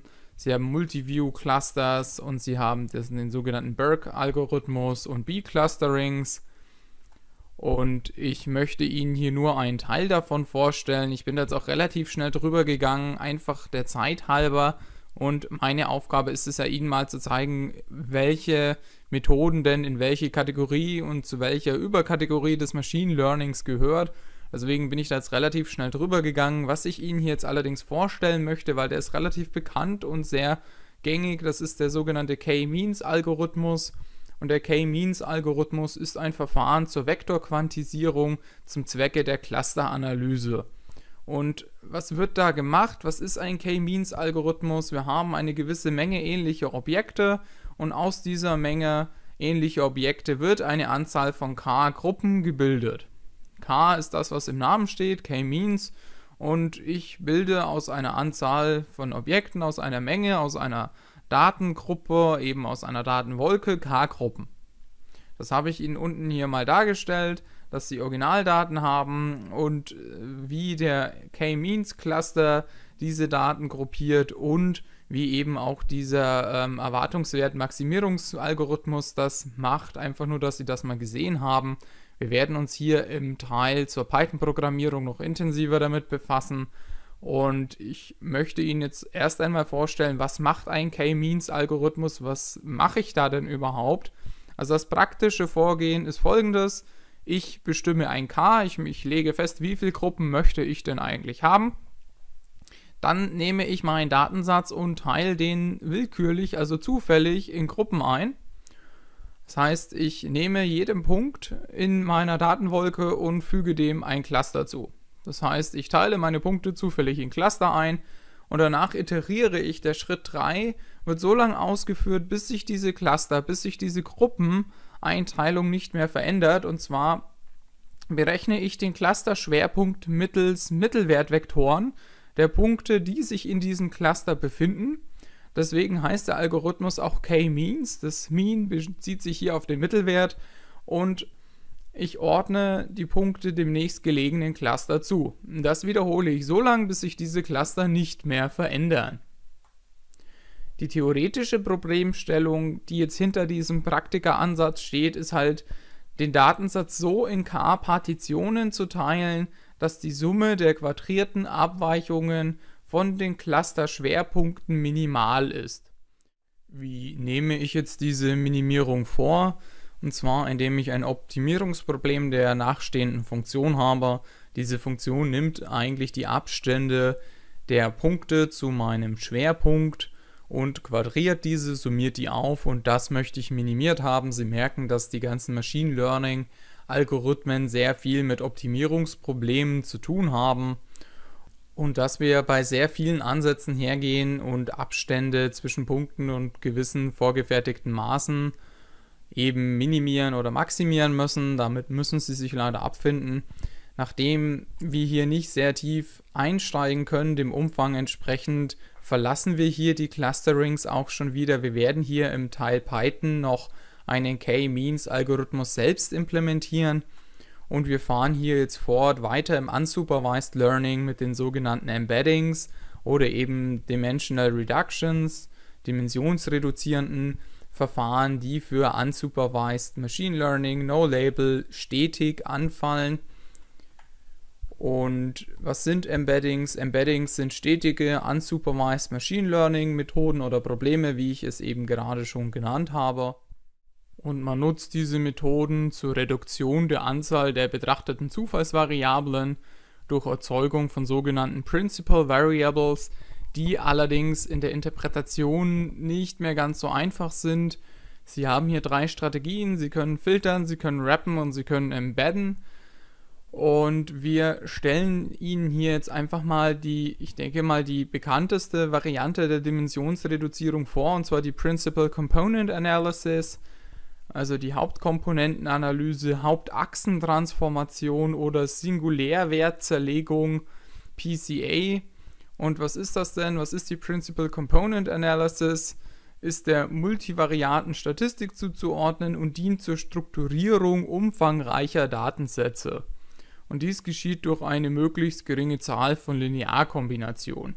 Wenn ich hier von umfangreichen Datensätzen spreche, dann meine ich umfangreiche Datensätze. Zwei, drei Excel-Sheets sind keine umfangreichen Datensätze, sondern wenn Sie wirklich massive Datenmengen haben, die sie so nicht mehr analysieren können oder die sie, ich sage mal, nur schwer mit Standardmethoden auswerten können, dann ist die PCA natürlich sehr spannend, weil sie die Variablenzahl von mehreren tausend auf mehrere Dutzend runterbrechen können oder teilweise auch nur auf zwei, drei Variablen, mit denen sie tatsächlich arbeiten können. Ähm, viele von Ihnen denken sich jetzt, okay, es gibt ja noch Faktoranalyse, das ist doch ungefähr dasselbe. Nicht ganz, also der Unterschied zur Faktorenanalyse ist folgender. Die Hauptkomponentenanalyse, also Principal Component Analysis, beginnt damit, dass Sie einen niedrigdimensionalen linearen Unterraum untersuchen. Das ist ja auch der Sinn davon, der die Daten am besten beschreibt. Dieser Unterraum ist linear und kann durch ein lineares Modell beschrieben werden und ist daher auch deskriptiv und explorativ. Die Faktorenanalyse hingegen legt ein lineares Modell zugrunde und untersucht die beobachtete Kovarianz und Korrelationsmatrix und versucht diese eben zu approximieren und fällt daher unter modellbasierte Verfahren. Das ist einer der Hauptunterschiede, die Sie beachten mögen. Und ein anderer ist, dass PCA eine klare Rangfolge der Vektoren vorgibt, gegeben durch die absteigenden Eigenwerte der Kovarianz oder Korrelationsmatrix und in der Faktorenanalyse wird zunächst die Dimension des Faktorraums festgelegt und alle Vektoren stehen gleichberechtigt nebeneinander. Das haben sie bei der PCA nicht, da sind die eben geordnet und in der Faktorenanalyse eben nicht. Beachten wir nun das statistische Modell, was hinter der PCA steht.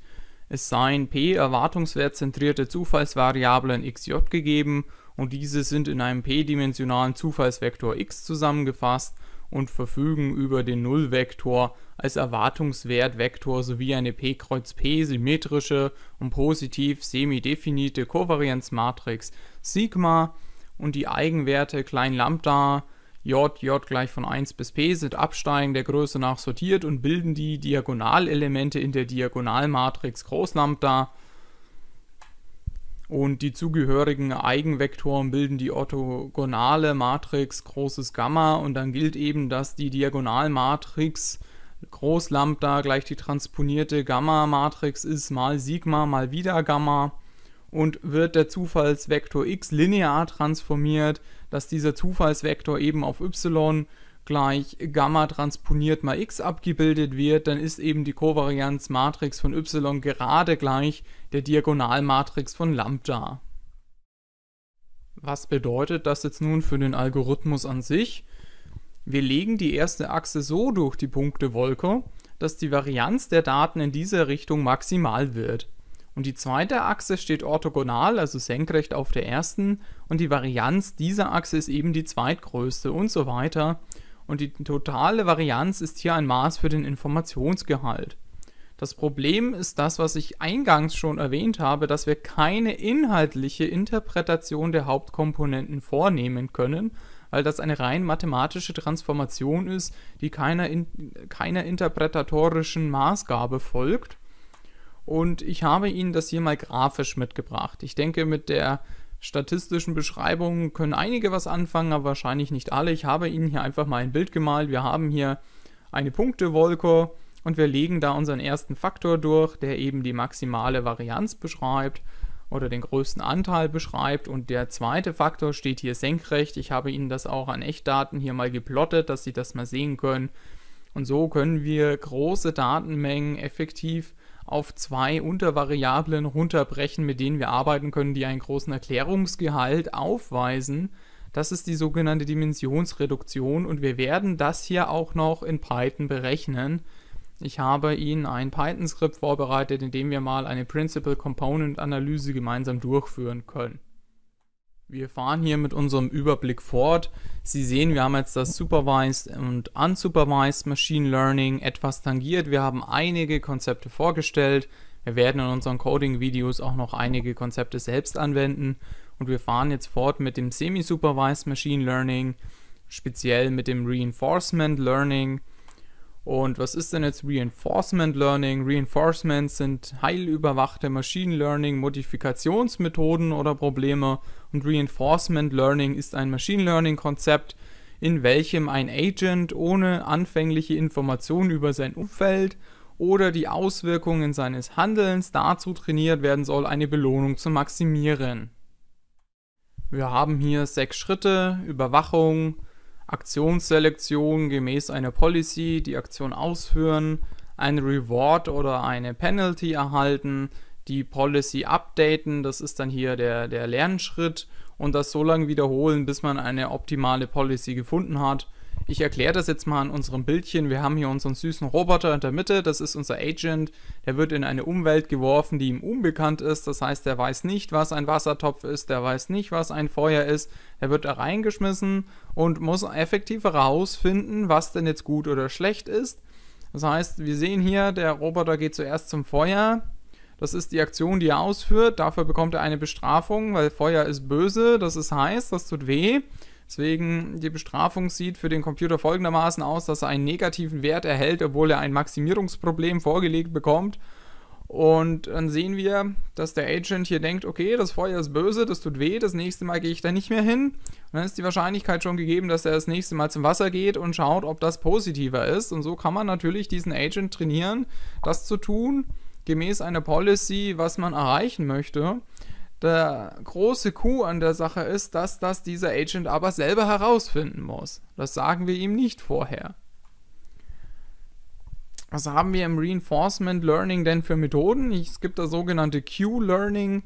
Das ist ein modellfreier Reinforcement Machine Learning Algorithmus, welcher auf stochastischen Übergängen beruht und kein Modell benötigt. Wir sagen diesem Agent vorher gar nichts. Wir unterstellen kein Modell, sondern wir nehmen einen modellfreien Algorithmus, das ist das Q-Learning, und für jeden finiten Markov-Entscheidungsprozess findet Q-Learning eine optimale Police, welche den erwarteten Wert, also der totalen Belohnung, maximiert. Und eine tiefere Vorstellung inklusive mathematischer Darstellung entfällt hier leider, weil wir haben den Kursumfang doch schon relativ groß und da kann ich leider nicht auch noch darauf eingehen. Was Markov-Prozesse sind, haben wir allerdings schon gelernt. Was ich Ihnen hier ersatzweise anbieten kann, ich habe Ihnen hier einfach mal einen Überblick von Reinforcement-Algorithmen aufgeschrieben. Daran können Sie sich ein bisschen orientieren. Da ist unser Q-Learning dabei, Varianten des Q-Learnings und auch eine Monte Carlo-Simulation, von der haben wir auch schon was gehört. Und je nachdem, was Sie natürlich dann in Ihrer praktischen Anwendung brauchen, können Sie mal durch diese Algorithmen durchsehen. Wir verlassen hier dieses Themenfeld auch schon wieder und beschäftigen uns jetzt einmal in der Kürze mit Self-Supervised, Semi-Supervised Machine Learning Methoden. Was ist Self-Supervised Learning? Selbstüberwachtes Lernen ist die Automatisierung des überwachten Lernens, welches keine Vorab-Label benötigt. Das heißt, wir nehmen Supervised Learning und automatisieren das Viele Forscher sehen hier die Zukunft der AI-Entwicklung und betiteln dies teilweise als revolutionäre Technik, da keine Unmassen an Daten mehr benötigt werden hierfür. Natürlich gehen die Meinungen hier auseinander. Ich möchte hier auch keine Stellung beziehen. Ich habe nur gesehen, dass ein Großteil der Literatur sagt, dass das Self-Supervised Learning eben eine Zukunft hat. Und ich stelle Ihnen hier die sogenannten GANs vor, Generative Adversarial Networks und das sind eine Gruppe von Algorithmen, welche unüberwacht lernen können. Diese GANs bestehen aus zwei neuronalen Netzen, die ein Nullsummenspiel durchführen. Das erste Netzwerk erstellt einen Kandidaten, also einen Generator, und das zweite Netzwerk bewertet diesen. Also das ist der sogenannte Diskriminator. Und der Generator erzeugt einen Vektor latenter Variablen, welcher sich um Zeitablauf an eine bestimmte Verteilung annähern soll. Und Details sind hier im Kursumfang leider auch nicht enthalten. Sie können sich so vorstellen, Sie haben zwei neuronale Netzwerke. Das eine macht Vorschläge und das andere bewertet diese Vorschläge so lange, bis eine gewünschte Verteilungsvariante dabei herauskommt und Sie haben keinerlei Interaktion. Dieser Algorithmus lernt von alleine.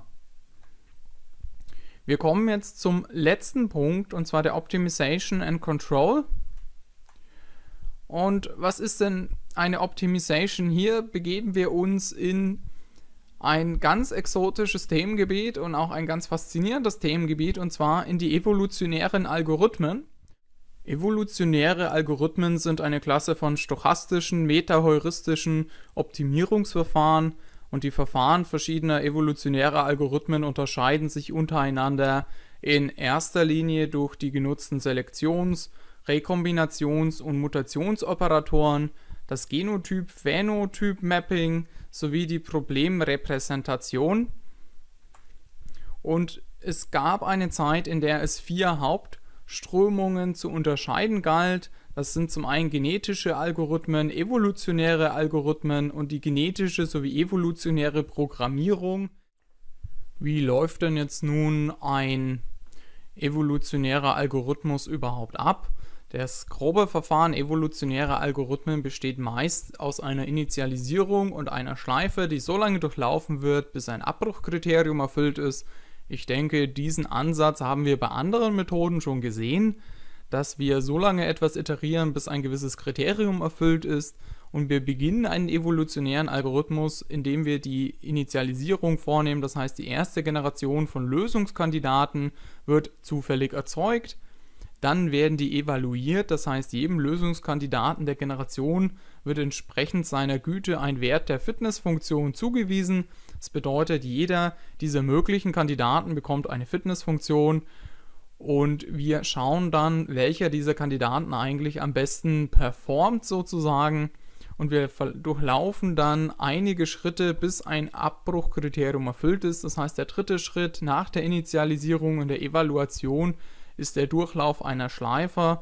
Und zwar, wir selektieren Individuen für eine Rekombination. Wir rekombinieren diese ausgewählten Individuen. Wir mutieren diese Individuen, die wir dann ausgewählt haben und lassen hier zufällige Veränderungen der Nachfahren, also der Nachfolgegeneration einfließen und evaluieren das wieder.